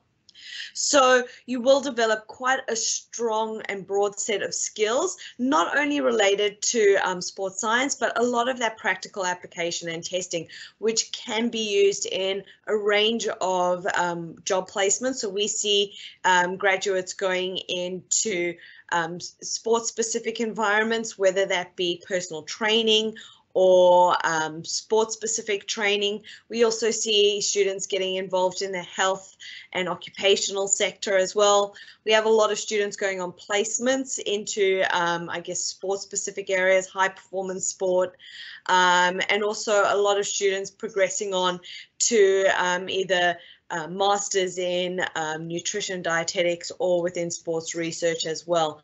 But effectively, you should come out of this course with enough knowledge to call yourself a sports scientist, but also have a very strong set of skills that allows you to um, implement and carry out the job which you need as well. So it's um, one of those really good majors that gives you a really strong basis and wherever you've got that passion and that drive to take that opportunity into the health or the sporting sector the i guess scientific skills, the uh, practical skills, and of course those soft skills, which Matt talked to you about, um, will set you up in a really good um, place in order to pursue whatever career goals you have within the fitness and health profession.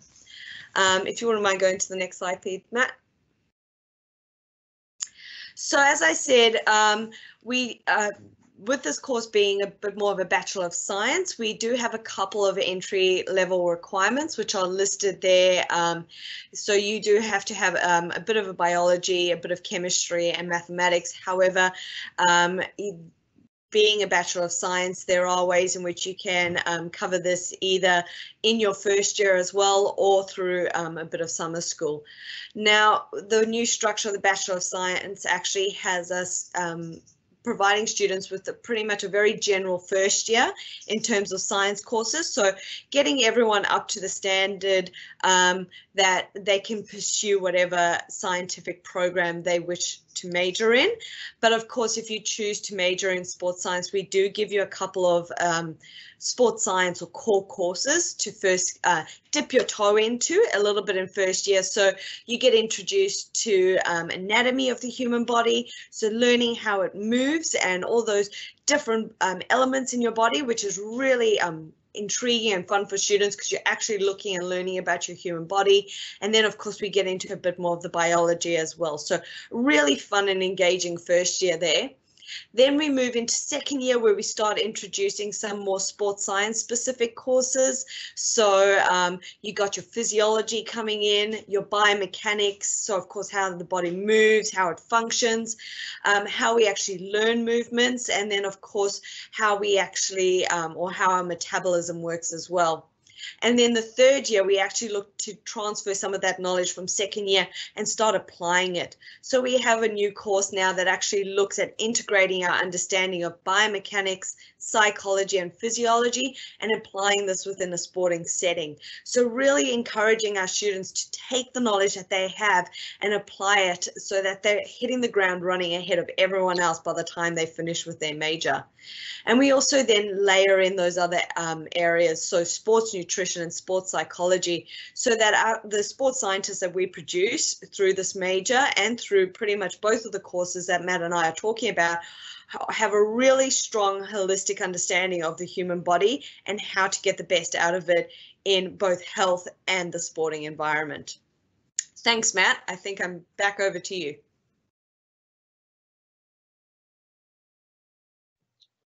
Thanks, Claire. so that's that's what we do. Um, and you could jump online and you could hear probably a similar talk from um, from many of the other universities around the country. I'll be honest with you. Um, many sports degrees uh, are very similar. Um, however, there are some unique reasons why you should come and study sport at Massey. Um, we have very passionate and experienced staff. Um, many of our staff have been and currently are involved in sport um, at all all levels, whether that's as uh, athletes. Claire herself here is uh, as a national representative triath uh, triathlete. Um, we've got coaches, we've got people working for Baseball New Zealand. Um, we've, we've got all sorts of experience, uh, Olympic coaches. Um, so we're, we're not only sort of talking the talk, but we, we pretty much all walk the walk as well. Um, so that sort of knowledge that we can add to your sort of formal learning is invaluable. Uh, we can pass on some some first-hand experience that can save you a lot of time and, and sort of shortcut your um, your way to success. Uh, all of our programs are, are, highly practical. Okay, there's lots of hands-on um, opportunities to apply your your knowledge, but you also get that strong theoretical underpinning. So it's not just um, you know a, a, degree for jocks. You do have to have a bit of a brain. You have to be be ready to work and understand some fairly complicated um, situ situations and, and knowledge. Um, we've got strong links to community and industry, as, as, we've given you some examples, lots of sporting organisations uh, around the country. We tend to have relatively small class sizes, and this this means that there's a lot of um, a lot of opportunity for good, close interaction with uh, with our lecturers. We have a really good, um, really good relationship with our students. Um, we had a visiting academic from overseas recently, and he, he, remarked on that. He said he doesn't know his students anywhere near as well as we do, and I think that's really important for for success. And that's what our job is. It's, we're here for for you and and to make sure you succeed. Um, we've got a great student culture. That class, that small class size, but also um, our students come through in, in pretty tight cohorts. They get to know each other. There's opportunities to work alongside each other. Um, and these form lifelong relationships. Um, and you never know when a, net, when a network colleague or, or, friend can, can be of help down the track. In terms of pastoral care, we offer our students um, mentoring programs. So at this stage, you would be uh, allocated to a staff member and they will look after you through your first year in particular. Make sure that you um, manage your time correctly, that we answer any questions that you have, uh, and just touch base, whether that's um, you know, coming around to, to someone's house and having a barbecue or having some virtual beers online. Um, in, in, the current situation, we, we make sure that you're getting the most out of your education and the experience. Um, we've got uh, one, of the, one of the main benefits is the locations. And often when we talk to our students, it's the location that dictates where they study. Um, obviously, we've got offerings in Auckland with, uh, with what Claire's talked about. Palmerston North, we've got the Bachelor of Sport Exercise. Then we've also got distance. And while sport development is offered by distance, many of our other courses are also available by distance. So we can we can tailor your um, your degree to suit you. So if you if you want to study by distance, for example, you've got an area in perhaps the sports sciences, you could do the sport development major or specialisation, and then pick up some of those more sciencey type of uh, type of courses. Lots of flexibility, and and one of my jobs is just to work with students to make sure that you're getting exactly what you want out of your out of your program. Um, another reason for studying at Massey, there's a very strong sport and cultural um, community. So lots of good clubs and opportunities there. Um, and our facilities are excellent. Um, in Palmerston North, we have, um, what have we got? Three rugby fields, four football fields, um, a brand new hockey turf that's currently being um, developed, the teaching gym, um, a rec centre. Up in Albany, we have access to similar facilities, an outstanding um, lab. So there's there's some really good facilities that you'll get to experience and work in. Um, what I haven't put up there, and I will just touch on because we've got a couple of minutes spare, is the um, the Massey Academy of Sport Scholarship. Um, so this opens in August, or usually around the 20th, 20th of August. And this is a scholarship that provides athletes with $5,000 scholarship plus entry into the Massey Academy of Sport. And the Massey Academy of Sport provides um, opportunities for strength and conditioning coaching, um, sports psychology, nutrition, um, academics, um, advice. All up, the package is probably worth close to $10,000 in your first year. Um, to be eligible, you need to be studying a bachelor's degree, your first bachelor's degree in any topic. It doesn't have to be sport and exercise. Um, and you need to be competing at a representative level, either nationally or internationally. I suggest if this, uh, I can talk to you more about this when we jump into our Zoom meeting, um, or you jump online and have a look at the Massey website. Okay, um, just to finish off, last slide, some contact details. Uh, if you want to talk to me about the Bachelor of Sport and Exercise, um, shoot me an email, give me a call. Uh, I would say drop in and see me, but I'm not allowed back in my office for a wee while, so don't bother doing that. Um, Claire is uh, equally available online, or um, hopefully I've got her right, her correct um, uh, contact number there. Yeah. Hang around, uh, jump on our, our Zoom meeting, and we'll answer any of those direct questions you have. Um, I saw a couple of people raising some questions, so um, pop on over and we will uh, we will have a chat. All good. Thank you very much. Um, we'll see you see you in a moment. Cool. Okay, hi everyone. Uh, my name's Kathryn Beck. I'm a lecturer in human nutrition and dietetics up in Albany in Auckland and we're part of the School of Sport, Exercise and Nutrition.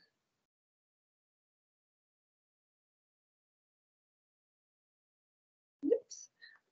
Okay, so I guess a bit of food for thought. Why study for a BSc in human nutrition at Massey University?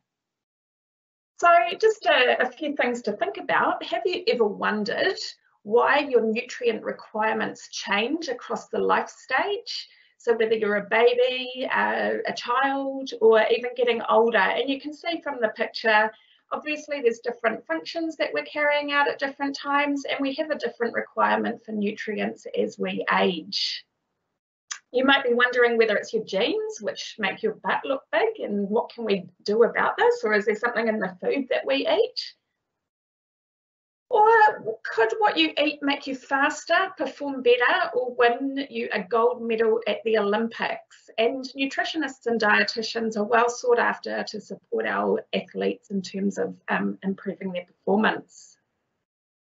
It may be how can I run a marathon at 92 rather than pushing a Zimmer frame? So why, why do some people age really well and others age less well? Or could what you eat make you smarter is there evidence to suggest that? And this is some of the work that we're actually looking at at Massey University in Auckland. So what is nutrition? Nutrition is the science that supports human life and health. Nutritional science is about providing the body with the right or the essential nutrients and the right amounts to meet the body's requirements in order to optimize performance, avoid disease and enjoy a long and healthy life. So human nutrition is really interesting. It's a, a mix of a whole heap of different sciences, but also it takes into account the food, the environment that, that we're eating in. So when we're looking at nutritional science, it encompasses the disciplines of physiology, biochemistry, microbiology, public health, behavioural sciences. So the psychology, how can we help people to eat better, food science, and those are just a few of the many aspects that nutrition encompasses. So it's a really interesting area. It, I kind of think of it as translating the science into real life guidelines that people can follow for eating. So what do you what can you do with a degree in human nutrition? How can you contribute to the world? So there's lots of different areas that our graduates are working in. Public health is one of them. And below, I've just got some examples of some of the public health agencies within New Zealand that people from uh, Massey University in Nutrition have uh, started or been working with. They're looking at the Heart Foundation, the New Zealand Nutrition Foundation, Healthy Families, some of the sports bodies, Activity and Nutrition, Aotearoa, the health promotion agencies, and so on. So public health is assessing how the diet of New Zealanders measures up to their particular needs, promoting health through the surveillance of nutritional status. So we have national nutrition surveys that run approximately every 10 to 15 years devising and implementing nutrition education strategies, working with community groups to identify nutritional problems and finding effective solutions, or perhaps working with government departments to develop food and nutritional policies. Another area that some of our graduates go into is private practice. So this tends to involve working with different individuals and groups who provide nutritional advice to prevent disease and promote health. So these uh, people may, or dietitians, nutritionists, may work um, and have clinics which they run with people either in person or increasingly in the last few weeks online. It may involve doing talks for groups, so it might be corporate health or uh, sports teams. Um, and finally, working with the media. So you'll often see nutritionists called upon to comment in the newspaper, um, on TV, and so on. Industry, the food industry is another area where our graduates are working.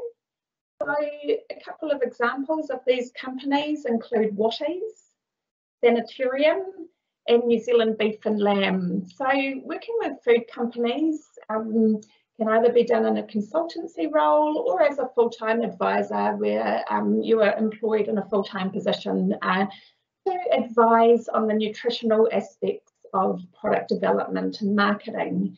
Fonterra is another example of a company where our graduates are working as well.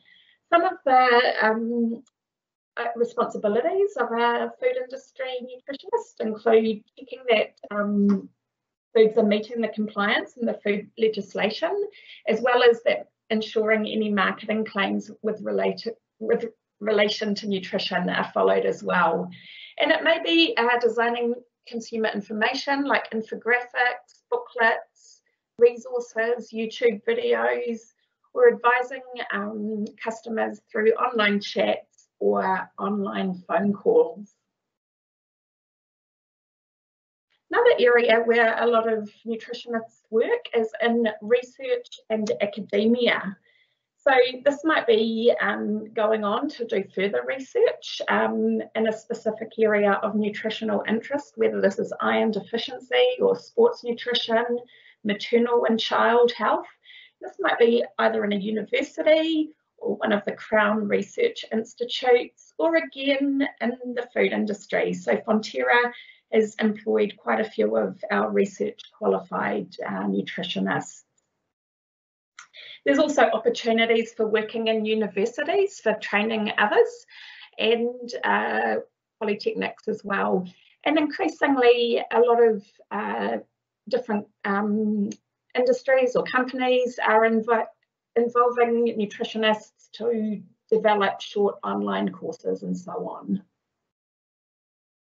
International organisations may be another area that you end up working with with a nutrition degree. So this might be World Health Organization, the World Cancer Research Fund, um, World Vision, UNICEF, uh, Food and Agricultural Organization. And often in these roles, it's working with epidemiologists and statisticians to determine ways of improving population nutrition status, uh, looking at international food security issues, or international nutrition and health related emergencies. Often part of the role might just be communicating the information across to the public. Um, so, for example, how to eat well to prevent uh, cancer or heart disease or diabetes. So, common questions. What's a nutritionist versus what's a dietitian? So a nutritionist is a specialist in food and nutrition, nutritional science, and their main role is to help people prevent uh, nutritional deficiencies and nutritional excesses. So deficiencies may be iron deficiencies, excesses may be obesity. So um, different roles that a nutritionist may be involved with are counselling individuals and groups on nutritional practices designed to present prevent disease and promote health. So this might be weight loss, uh, general healthy eating, sports nutrition, working in the food industry to advise on food products, or nutrition education. So you are able to register as a nutritionist through the New Zealand Nutritionist Nutrition Society. And to do this, it requires a BSc in human nutrition two to three years work experience or a postgraduate qualification in human nutrition, plus two years uh, professional work experience, and uh, renewal on a yearly basis by just keeping up with continuing professional development. So attending um, seminars, keeping your own learning going. So a dietitian is a nutritionist with a further specialised qualification. So a dietitian is a qualified health professional specialising in nutrition assessment, medical nutrition therapy and counselling to treat disease and micronutrient deficiencies. So probably the key difference between a dietitian and a nutritionist is that a dietitian is able to work in the hospital and clinical setting and advise on different disease states such as eating disorders, uh, renal disease, uh, oncology treatment, um, surgery, uh, uh, Crohn's disease, all the kind of implications that come with uh, being uh, potentially sick and in hospital. A dietitian um, will be there to um, assist with improvement of eating. So the three main areas of competence for uh, dietitians, and this is what we offer through Massey University, is the ability to provide therapeutic nutritional services to patients. So this is in the hospital and also in the community, potentially seeing clients with uh, health issues one-on-one. -on -one. Working in public health nutrition or community nutrition, or alternatively working in food service management to manage food production, quality, food provision and service. Other roles might include working in the sports sector to advise on optimal nutrition, working again in research or education, uh, working as a medical representative for some of the supplement companies, or in the food industry. So dietitians register as a dietitian in New Zealand with the New Zealand Dietitians Board. They have a BSc in Human Nutrition and an MSc in Nutrition and Dietetics, and they every year undertake an annual practicing certificate and need to maintain professional development. So you can study dietetics at Massey University so dietetics is a postgraduate qualification which follows the BSc in with a major in human nutrition. It's a two-year MSc degree majoring in nutrition and dietetics, and at completion, graduates will meet the requirements as set by the New Zealand Dietitians Board for registration as a dietitian. So with this qualification, it essentially enables you to work in clinical nutrition and medical nutrition therapy in the hospital and the community. And it's an accredited program through the uh, Dietitians Board. So if you're thinking about doing a BSc in human nutrition, what sort of things do you need to think about in terms of school? So uh, chemistry and biology are really important subjects. And ideally, if you can do statistics, that um, is preferred. If you are not currently doing chemistry and biology, don't worry, we have a lot of students that are in this position and you are able to do a summer school introductory course for both chemistry and biology and catch up that way. And those courses are really well supported and um, chemists that teach those courses have a real interest in helping our students to succeed. These courses can be done uh, on campus or also extramurally. So thinking about your nutrition degree uh, at Massey University, in the first year, there is a course which is called Introduction to Food and Nutrition. And this is a really interesting course. It just gets you into the, the zone of uh, nutrition, uh, gets you thinking about nutrition. And it's probably the reason you've come to Massey to study nutrition. It enables you to get some nutrition right up front.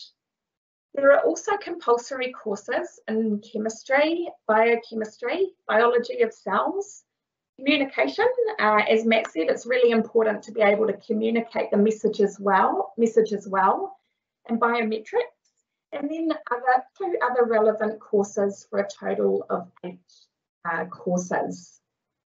In the second year, we get more into uh, nutrition again. So we've got a nutrition and metabolism paper, which takes you through all the key nutrients, uh, different ways of um, assessing nutritional status, so through dietary measures, also anthropometric measures, so measuring body composition, um, clinical measures, so how do we measure iron status, how do we measure vitamin D status. We have a food chemistry paper which um, essentially teaches you how food uh, works and reacts and why certain foods uh, work well together and why others don't. Physiology. Physiology is really important. It teaches you how the body works and how all our uh, different systems in the body work. We have two courses on physiology, biochemistry, and then three other courses. And then in the third year, we get quite specialised in terms of the different nutrition uh, courses that you can take. So we have one paper which focuses on maternal and child nutrition. So this really is specific to nutrition right through the, the life cycle up to a child adolescent. So uh, planning pregnancy, pregnancy, um, infants, toddlers, and then children through to adolescence. We have a sports nutrition paper, which many of our uh, Bachelor of Exercise and Sports Science uh, students take as well. So what we're looking at in this paper is um, how the different macronutrients contribute to different uh, sports performance.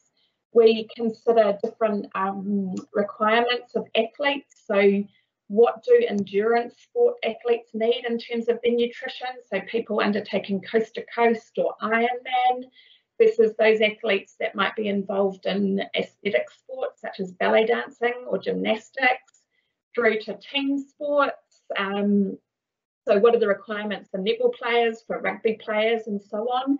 And then some of the special uh, situations, I guess, that athletes face. So um, things like sports supplements, uh, ergogenic aids, uh, travelling, um, how do you manage nutrition when you're travelling as an athlete.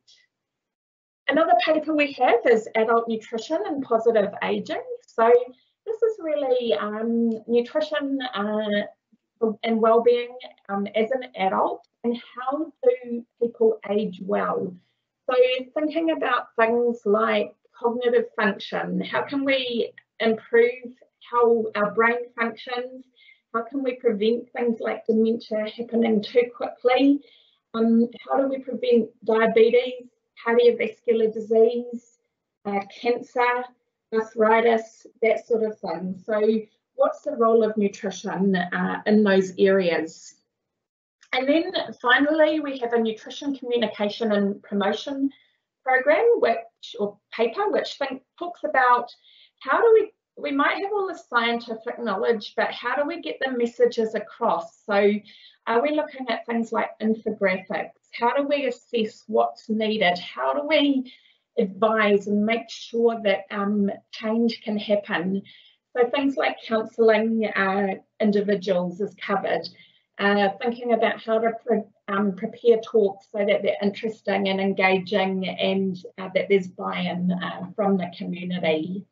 And then on top of that, there's another four uh, papers that uh, you have choice in terms of what you take. So some of our um, people that come and study nutrition at Massey University um, already have a degree and uh, wonder about studying nutrition. And yes, this is possible. So if you've done a degree in something entirely different, we do offer a graduate diploma in science, which is endorsed in human nutrition. This involves eight courses on campus and can be studied part-time. And with additional courses that can be used to apply for a place in our MSc uh, dietetic program. So at Massey University, we have got a whole heap of different uh, research facilities, which um, are really cutting edge. And I'll, what I'll do is I'll just take you through some of the photos just to show you and give you a little bit of a taste of some of the things that we do research-wise. So um, we obviously have the basics like a stadiometer to measure height and um, scales to measure weight. What we've got here this is a bod pod and it's like a little space capsule that um, essentially a person can hop into and rather than um, getting the body mass index, which doesn't take into account muscle mass, the bod pod will tell an individual what percentage fat mass and what percentage muscle mass is made up of, um, their body is made up of. So this contraction, it takes, uh, essentially uh, people have to wear a swimsuit um, or tight fitting clothes, a cap to reduce the air displacement. And it's just a process which takes about 10 minutes to assess body composition. This one here is another way of measuring body composition, and that's actually me on uh, the DEXA machine. Um, what this does is it does, sends a little x-ray over the body. It measures your bone mineral density. So what is your risk of osteoporosis? But at the same time, you can get a measurement of your percentage body fat and muscle mass. We have a cognitive testing suite, which is here. So essentially this is um, a range of uh, computer-based cognitive tasks that you we can use to assess uh, cognitive ability. Um, we also uh, carry out a lot of surveys and questionnaires online.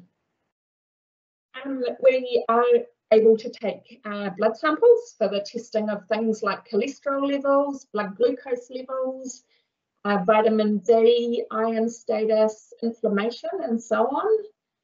Um, we have labs facilities. So um, there's a couple of pictures there of uh, some of our lab facilities that we use. And a lot of our research is very practically orientated. So this is a picture of myself a few years ago um, where I ran a study with women who had mild iron deficiency. We recruited about 700 women to take part in this study. What we did was we gave them all a, a blood test and we um, recruited 100 women that were mildly iron deficient. Then what we did was we um, ran a trial where we had two groups. So both groups received an iron fortified breakfast cereal and one of the groups received kiwi fruit with that cereal. Kiwi fruit is very high in vitamin C and it enhances iron absorption. and the other group received a banana. So bananas have no vitamin C. And what we wanted to see was whether there was an effect on the iron stores of those women that had the kiwi fruit and the iron fortified breakfast cereal compared with those that had the banana. And what we found was that there was an effect after 16 weeks. So I was really excited to see that this had just been published in a, a textbook a few weeks ago. So that, that was really exciting for me. Um, providing, I worked out we provided breakfast cereals to 9,000 or 9,000 breakfast cereals over the course of uh, 16 weeks. So logistically, there's all sorts of um, challenges in terms of how do you get uh, bananas and kiwi fruit out to people um, so that they still taste good um, and meet the needs of the study. So there's a lot of um, challenges and I think with nutrition um, it's, it's great because it, it's really applied, um, people are interested in it, in it and you're constantly challenged and um, thinking about how the science can be translated into the real life um, setting. So um, in terms of uh, who to talk to, um, I've got a few more slides, but I will be available for questions afterwards. Uh, Associate Professor Pam von Hurst is our major leader for sport, exercise and nutrition. Um, so I guess we'll be able to distribute the contact details for Pam. And for the dietetics pathway, if you're interested in going the dietetics pathway route, Associate Professor Rozanne Kruger. Um, and her contact details are there. Now these are just a few um, photos of our graduates. So these were our dietetic graduates in 2012, 2013. They're all working in really different places at the moment. Um, we've got dietitians working in hospitals, um, Gisborne Hospital, Middlemore, uh, Waitakere, Northland, um, all over the country, Palmerston North. Uh, we've got uh, one of these graduates is working at the Diabetes Project Trust. Some of them have gone overseas um, and are working in England with their dietetics qualification as dietitians over there. A couple that work in private practice. Um, food service management is another area as well. Um, one of these graduates is working at, and also sanitarium. Um, these are a few pictures of our students at work. So uh, this one here is uh, at the Heart Foundation. Uh, this is Fiona Windle, who works for New Zealand Beef and Lamb. We've got actually three of our graduates work for New Zealand Beef and Lamb. We have several working at the Heart Foundation. And uh, this one is Toi Tangata. Uh, so this is a Māori health provider in Auckland. Um, so we've had graduates work there as well. So I guess if we just uh, have a look at the, the photos, a few other things that we've got going on, the blood sampling, um, uh, blood pressure monitoring in the lab, uh, body composition measures, um, obviously food. Um, I think if you're studying nutrition and dietetics, um, it helps to, to like food. Um, a few other things to mention, I guess with the um, dietetics training program, there is a lot of opportunity uh, to get practical experience. So for example, our graduates or our, our, students doing the dietetics program, they're required to spend 13 weeks uh, working within the hospital setting as diet, um, supervised by dietitians, and we organise these placement opportunities. They also spend four weeks in a public health setting and they spend four weeks in the food service uh, setting. Right, so I will be available um, in the Zoom room following this presentation. If you have any more um, questions or want to talk more about nutrition and dietetics. So that's it from me. Thank you. Catherine, just before you go, we did have quite a few people um, in the Q&A ask um, a similar question. So I thought maybe if I just ask yeah. it to you, you could kind of um, speak on it. So um, lots of people were wondering if there's any intention of this being available at the Manawatu campus. Um, I know we have it via distance, um, and linked to that question was if Yeah, they are doing it via um, distance, is there any contact courses that they have to come to on campus? So sorry, kind of a double. Yeah, double sorry, I just I just want to make sure I get that. I've got um yeah, so um nutrition is um is essentially the off offering that I've talked about through the College of Health is that that will be at the Albany campus and dietetics can only be done at the Albany campus. Um, so that was one question. And then was the other question about distance learning? Yes, and if there was any contact courses.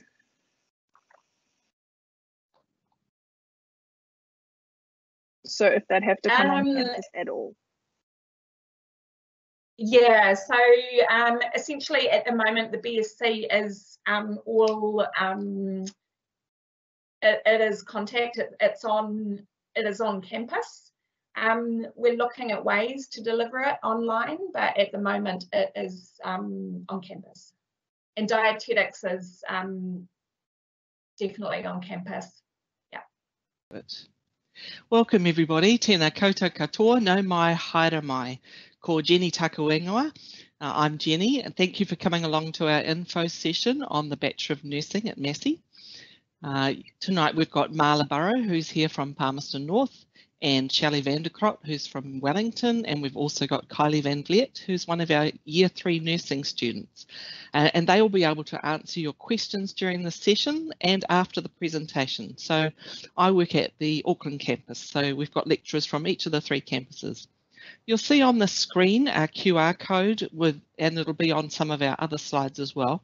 If you hold your phone over it and with, a, with your camera activated, it will take you directly to our website so that you can find the application forms for the courses that we're going to talk about tonight. But we'll also answer your questions. So pop, pop them in the Q&A and we'll take them as we head through the presentation. So now when you study at nursing at Massey, you'll be part of a program that's renowned for its first class nursing curriculum and for educating nursing students to contribute to a wide range of healthcare workplaces. Our degree is so highly respected and recognised that both New Zealand and overseas employers hire most of our graduates within six to eight months of finishing the three-year program. Most people who want to become a nurse have the characteristics that are shown here on the screen. They're problem solvers, an inquirer, they want to make a difference. So if this is you, then nursing could be a great career for you. Nurses have a real interest in the health and well-being of population groups and communities. There are a variety of opportunities open to you and with nurses taking on advanced and extended roles to meet the needs of diverse population groups. There's a clear need for assessment of patients in rural and remote settings and nurse practitioners are able to provide an equivalent level of service in these settings.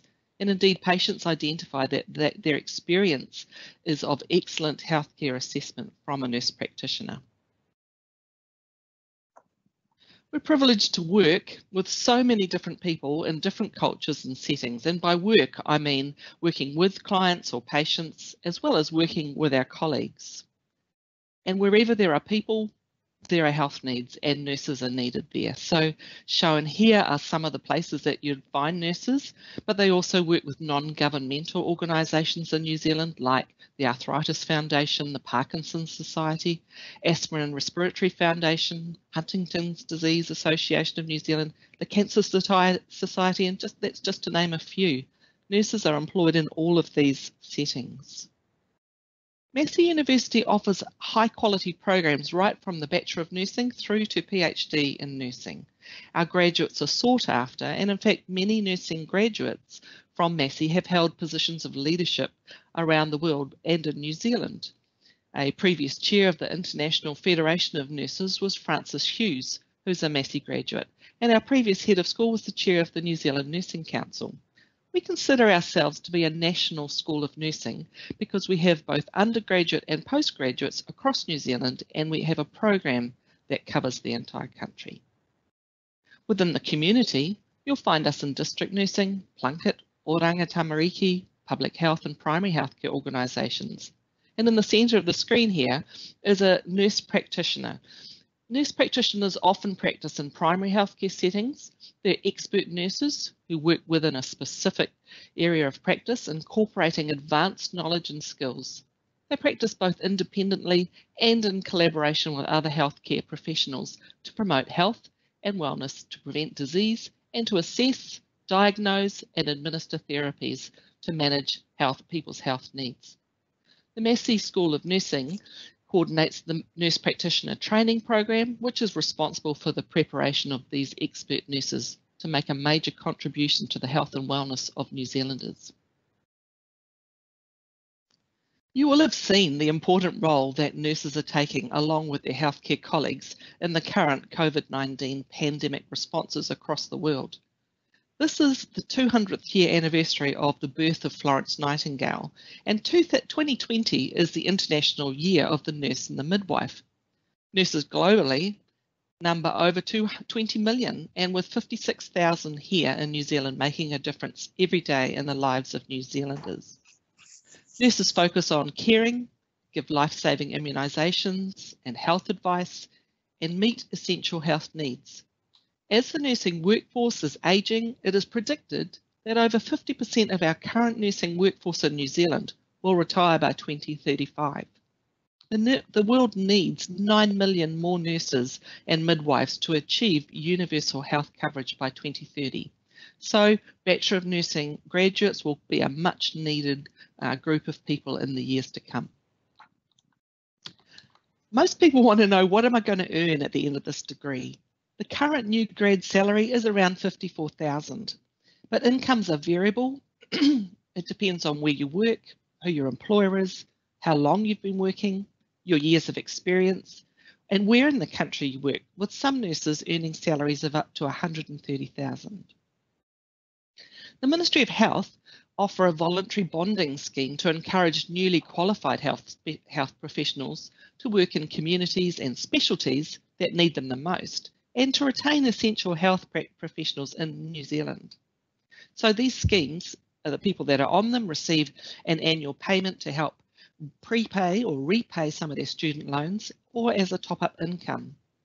For 2020, the identified areas of needs the Ministry of Health have highlighted are aged residential care and older adult health services, mental health, both in the hospital and community, including addiction services, district nursing, oranga tamariki, well child, primary healthcare, and practice nursing within Māori and Pacifica providers, but also primary healthcare and practice nursing within specific DHBs such as Auckland, counties Manukau, Waitemata, Taranaki, Wairua District, West Coast and South Canterbury DHBs. Once our nursing students finish their Bachelor of Nursing, they sit the Nursing Council of New Zealand state exam. Since Massey has only one intake per year, our third year students sit their state exams in November of each year, and there are two exams and they're both multiple choice. A successful pass means that they are registered nurses in New Zealand. Our school had 100% pass rate for state exam finals last year. And national statistics show that in 2018, there were just over or just under 1,300 nurses who passed their state finals, and of those, 85% were employed immediately, 5% were still seeking work, and 10% weren't seeking employment or they hadn't answered the survey. The Bachelor of Nursing is a selected entry degree. Shown here are some of the details that are required if you're planning on enrolling. You need 14 credits in biology, chemistry or physics at level 3, You'll also need to submit a 300 word personal statement, your CV and two referee reports. You'll find some of the other details shown here by going to the QR link that will be on one of the slides later and it will take you directly to the application site on the Massey website. It's great to consider voluntary work, working as a healthcare assistant or a lifeguard or St John's volunteer. Because voluntary work or working as a healthcare assistant is really useful. It identifies to us that you are passionate about and committed about being involved with people. And it also gives you a chance to work with people and see if nursing is really an aspect that you'd like to take on as a career. Shown here are some of the lecturers who will be supporting you to become one of the best registered nurses in the country. We have about 24 teaching staff and we also have many guest lecturers who come in to teach in their specialty area from right through from the undergraduate to the postgraduate courses. In our last performance-based research funding round, which is what all the university courses are measured by, in 2018, Massey was ranked as the leading research institution in nursing in New Zealand across all of the universities. Our research focuses on investigating the effectiveness of models of care in primary healthcare delivery, research into the impact of health and wellness for people living with long-term conditions. We have research on the nursing workforce, which is actually the largest healthcare professional workforce in New Zealand. And these are just a few of the many topics that we are currently researching. We have a long track record of research and, and producing undergraduate postgraduate students who are focusing on research. Many of the staff shown here are experts in their fields. Massey campuses are shown here too. We have approximately 500 Bachelor of Nursing students across the three campuses. If you're considering leaving home to study, Massey is the only national university with a Bachelor of Nursing program on Auckland, Wellington and the Palmerston North campus.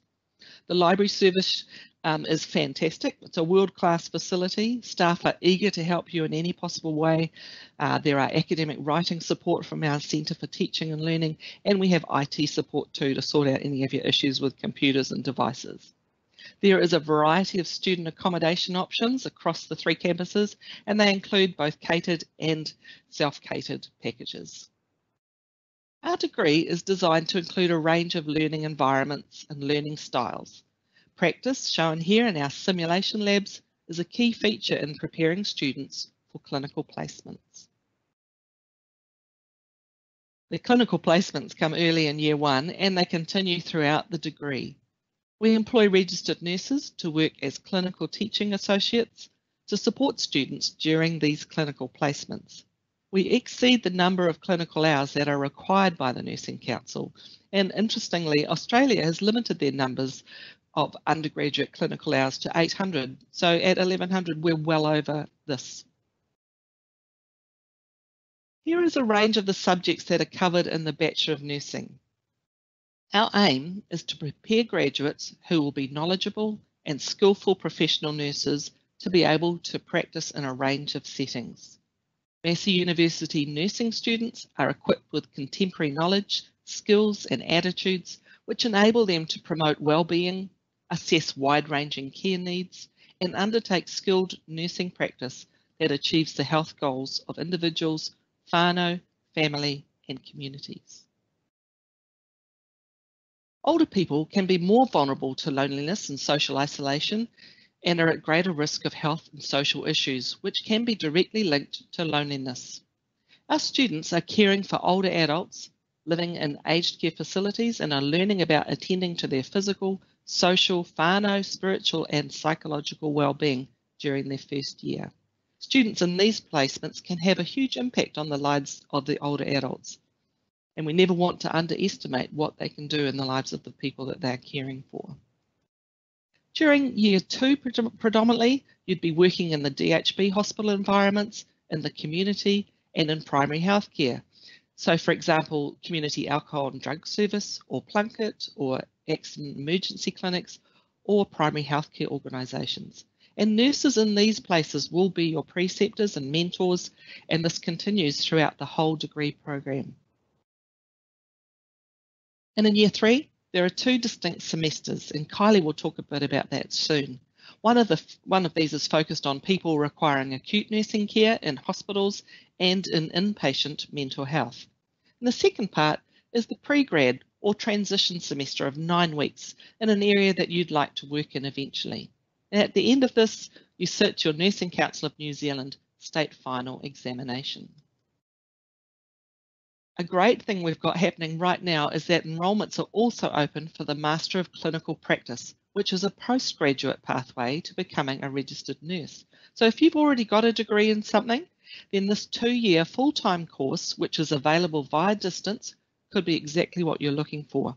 This degree begins in semester two of this year, and the QR code shown here will take you directly to the enrolment for that program. Once you finish the degree, there are many postgraduate opportunities and career options for you. Um, uh, in the graduate year from the bachelor's, there is a nurse entry to practice program, which is a one-year program that many district health boards and healthcare organisations offer. And also there's postgraduate study in nursing. Careers within nursing can take you through to things like safety and risk management, clinical specialties, research, education, becoming advisory in the Ministry of Health or in management and leadership roles. When you are a registered nurse, you have the option to work anywhere in the world, and Andrew here has chosen to work in war-torn countries.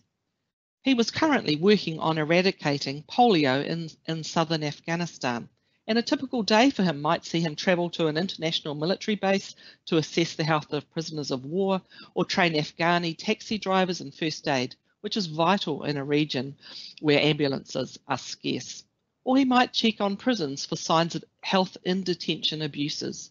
He says, we make sure that detainees are properly cared for according to the Geneva Conventions, that prisoners are cared for properly. Amongst his awards, he's a Massey University Distinguished Alumnus.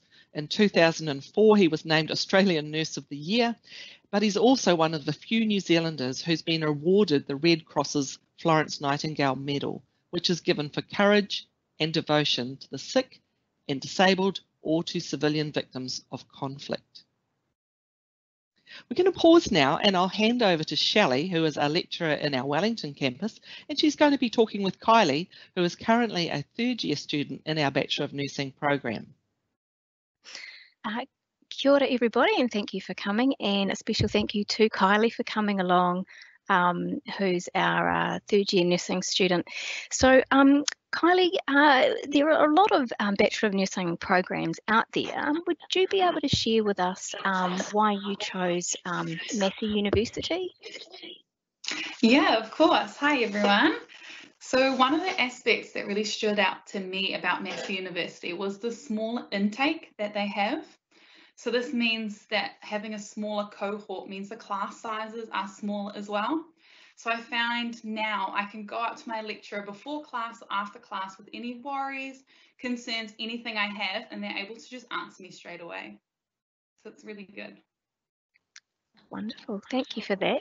Um, and now that you're in your third and final year of, of the Bachelor of Nursing program, can you tell everyone a little bit about the um, clinical placements that you will be um, you will be doing? Yeah, so I'm currently in my third year, like you said, in the first semester. So I had the opportunity to do three weeks inpatient mental health, three weeks medical, which is at your hospital, and three weeks surgical, where you get the opportunity to possibly go into theatre, watch an operation, all the cool stuff.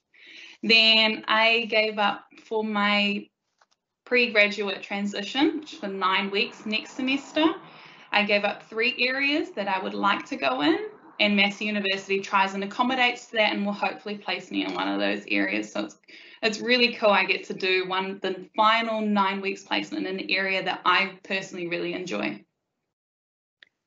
Fantastic. Um, and what would you say so far has been the highlight of your um, your nursing under undergraduate nursing um, degree?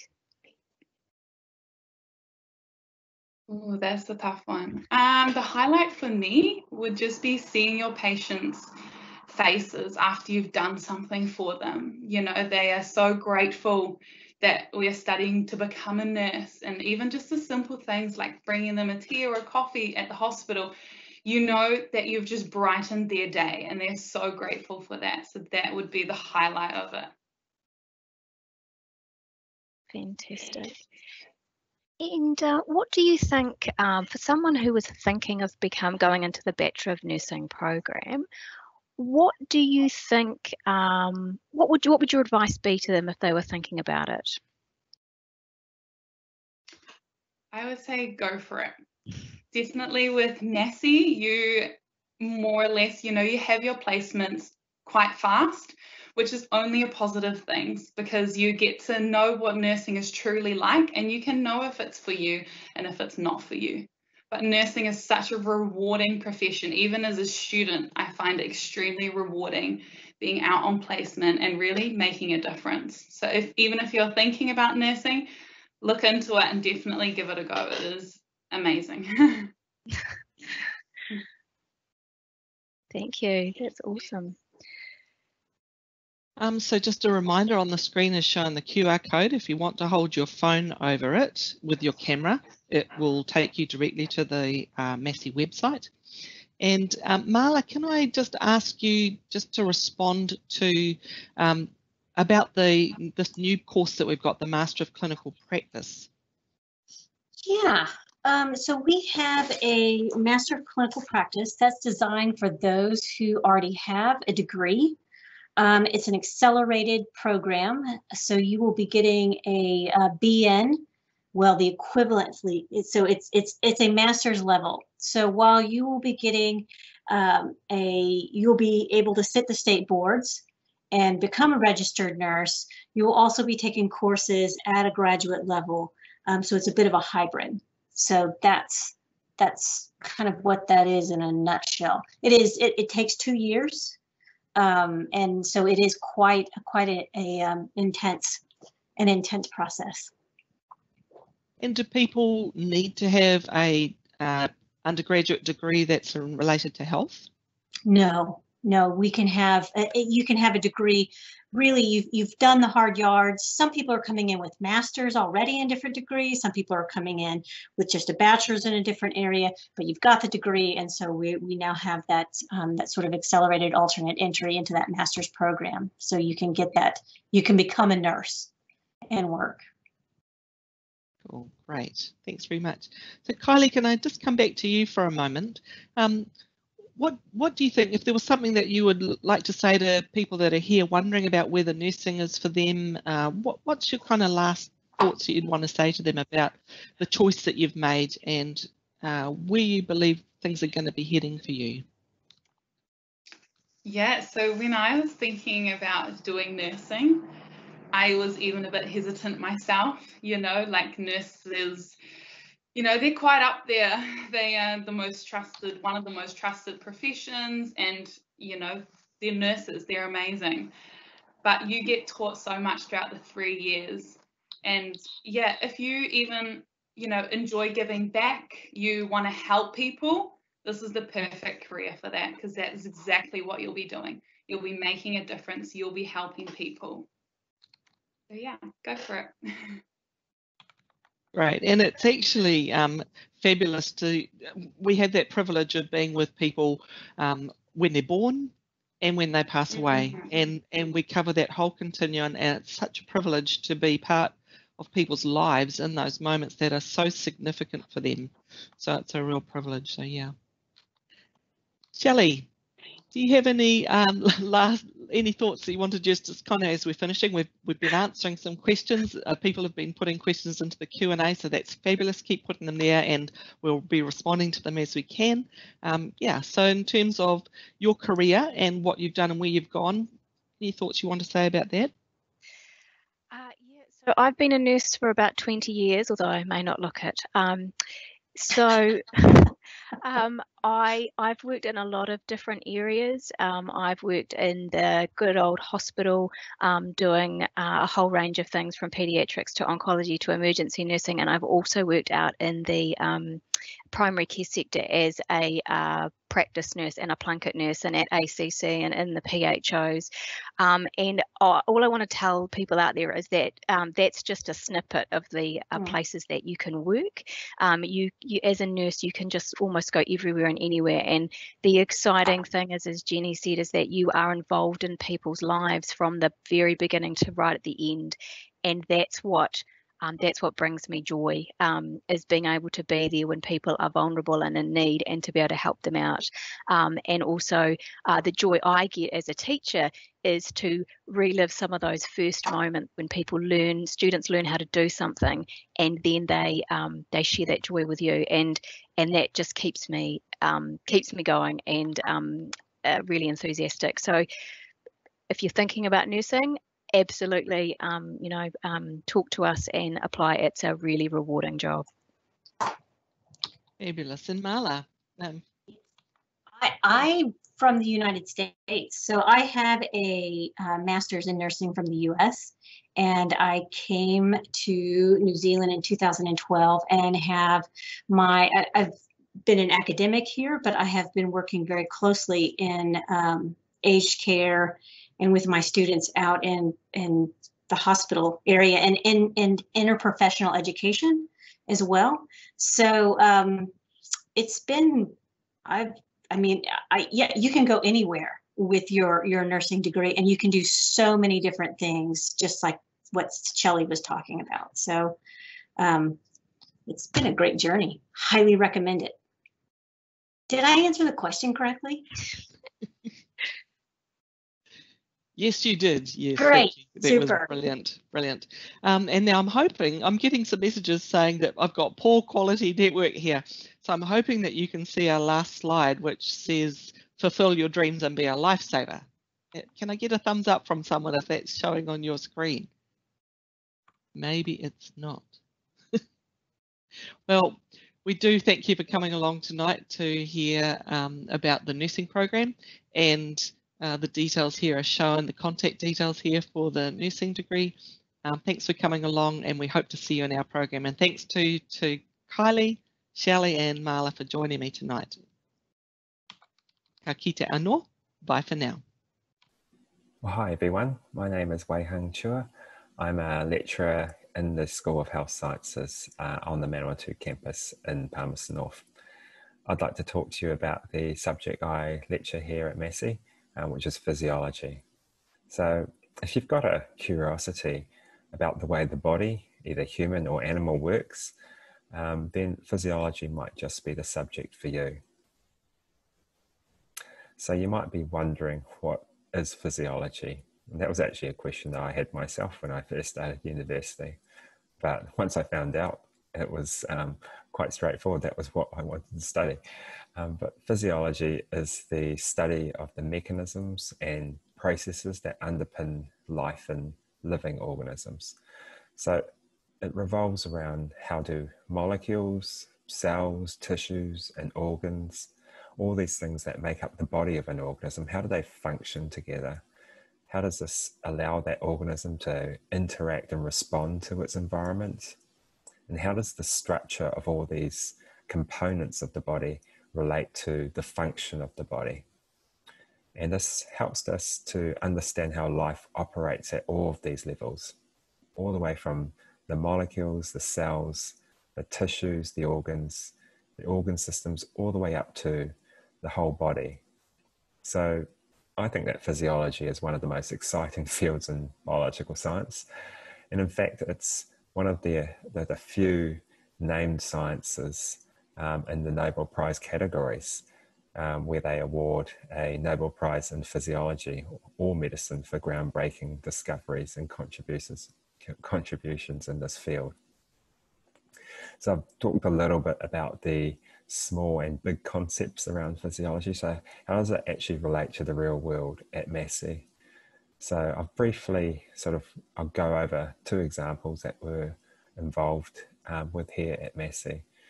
So our introduction to the world obviously starts when we're born. Sometimes one's arrival uh, in the world is sort of straightforward, um, and other times it's more complicated and requires medical intervention um, and the use of drugs to manage um, the process. So this is where this particular study or this picture that you can see um, in the center um, revolves around. So um, on the left hand side, um, you can see a small part of the uterus. And using our understanding of the physiology, we're analyzing, and these are these four bars on the right hand side, we're analyzing how the different muscles in the uterine wall are contracting after a drug has been administered. So, understanding this process um, helps us to inform ourselves as biologists about the, the process, but it also helps doctors and hospitals understand um, how a drug they might be using might actually uh, be having an effect in the tissue. So, in another example, you've probably um, heard the, the public health messages that good nutrition and exercise help to build um, and maintain a healthy skeleton. So um, a group of researchers put forward a theory about how osteocytes, the main uh, bone cell um, in the skeleton, how they could be controlling the other types of bone cells in the body. So they grew osteocytes in the laboratory and exposed them to nutrients and simulated exercise. And then they monitored those cells um, to see if there any change in their function. So why study physiology? It gives us a, I guess, the basic information about life and how um, normal body function occurs in an organism. It gives us an insight into the processes that help keep us healthy and what happens in the body and the processes as we age. And it also helps to give us an understanding about um, the processes that are happening um, when there are abnormal functions during disease. And all of this information helps in our, um, I guess, goal to um, treat disease um, in animals and in humans. Um, this information also helps us to understand how organisms can survive in different types of extreme environments. So you can see that there's this fairly wide range of different sort of scientific um, uh, aspects of physiology which um, require training in um, critical thinking, planning and analysis, um, good communication skills, and also um, some sort of I mean, background or training in contemporary, contemporary laboratory skills in the biological sciences is necessary to better um, investigate all of these things. And this is hopefully something that comes through in the um, as in, in your um, journey as a student. So why study physiology at Massey University? So Massey University is engaged in physiology research in a wide range of areas relevant to the biological sciences um, and also the biomedical sciences and animal biology. So I've just listed um, a smattering of examples of areas that um, researchers here at Massey are um, undertaking physiological research. So this breadth of researchers means that there's a good team of teachers with the relevant background um, in the field to guide you in this subject. So I guess importantly, what sort of career opportunities do you have with the Bachelor of Science in Physiology? So physiology is um, essential as a subject for those training for employment in animal, human, or the health sciences. And most physiology graduates end up working in sectors here in New Zealand or overseas. Um, and so those heading off um, in the direction of research usually end up in universities or one of the Crown um, Research Institutes, places like um, AgResearch or um, the uh, plant and food um, research. Um, and they may end up in other food related um, research centres, such as um, with companies such as Fonterra or in drug or biotech companies.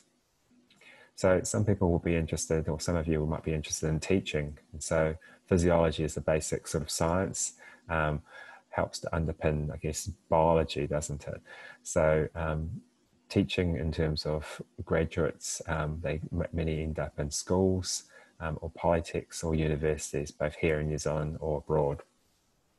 Now, some of you may be aiming towards a, um, a career in um, healthcare. So, um, some graduates have um, specialised to become medical physiologists who exist in hospitals. and uh, I guess take their physiology to the next level in terms of um, sick patients.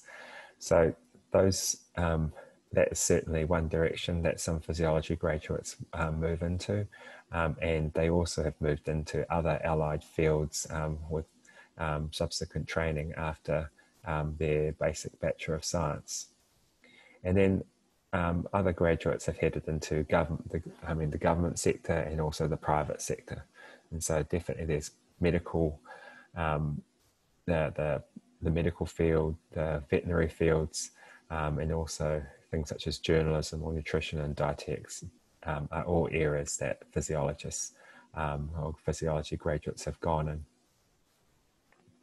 So what's actually involved with doing a Bachelor of Science in Physiology? So you either um, can undertake the subject as a major um, or a minor. Um, but usually a Bachelor of Science involves um, a full-time three years of study. And when you undertake physiology as a major, you can um, select um, one of those other subjects that you're interested in um, as a minor to do. So you could do a minor in human nutrition or exercise science, molecular biology, or biochemistry, psychology, or ecology or zoology or you might be taking a, um, a major in one of those subjects. Um, and um, this way you can dovetail um, physiology um, as a minor with one of those um, to help round out your Bachelor of Science. So it's one of these subjects that nicely dovetails with a lot of other biological sciences in the Bachelor of Science. So what entry requirements are required? So you need to have NCEA level three in biology and chemistry, and ideally um, some background in physics or mathematics. Um, those are desirable, but they're not essential. Uh, but in the first year or in the summer school, you're able to do different types of introductory courses, which might help scrub you up in um, either biology, chemistry, um, or one of those other two, physics and mathematics. So, um, in general, the first year of the Bachelor of Science is designed to sort of ensure that um, all of you, um, all Bachelor of Science students, have a sort of thorough science grounding. Um, and then later in um, the year, we also um, take you through an introduction into the key concepts in um, either human or animal physiology.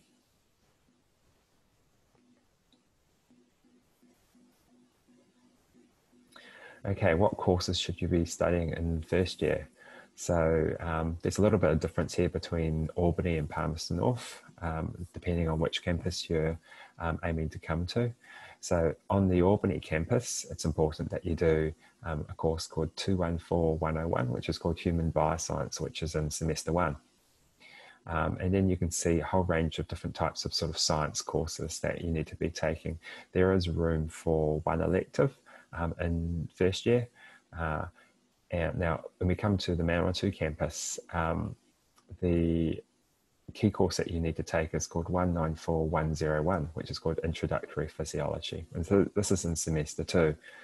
And then you've got those same um, core science courses that you need to do. Um, now, there again is space there for an elective in first year. Now, when you come to second year, um, things get a little bit more specialized here and we go into more um, detail, but we start to look at um, organ systems and um, a little bit more in depth. So we look at the nervous system, including the brain, the endocrine system, so things like hormones. Uh, we look at the heart, lungs, digestive system, musculoskeletal system, the reproductive system, kidneys, the urinary system, and the immune system. So that's sort of like tackled in second year and we may even look at some of those in even more detail in third year.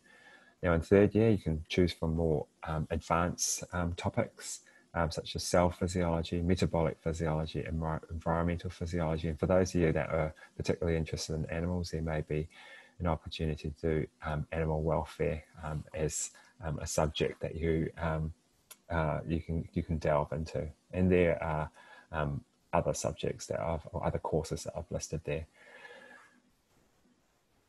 So one thing I didn't mention is um, in year two and year three, uh, there is a lot more opportunity to do electives. So this is where those other majors um, or those other or minors that you're doing, those other minoring subjects, um, you can fill in the gaps um, by um, tackling other subjects that you're really keen and interested in. So um, thanks very much for dialing in and having a listen to what I've got to say about this subject. I hope um, you um, stir some interest. Um, now, if you've got any questions about um, the structure or um, possible um, you know, job destinations and that sort of thing, uh, and what study at Massey is like on either campus, if you're interested in the Albany campus, please contact Dr. Martin Dickens. His email details are there. And if you're interested in uh, study at Palms North, um, don't hesitate to contact me um, and we can have a conversation.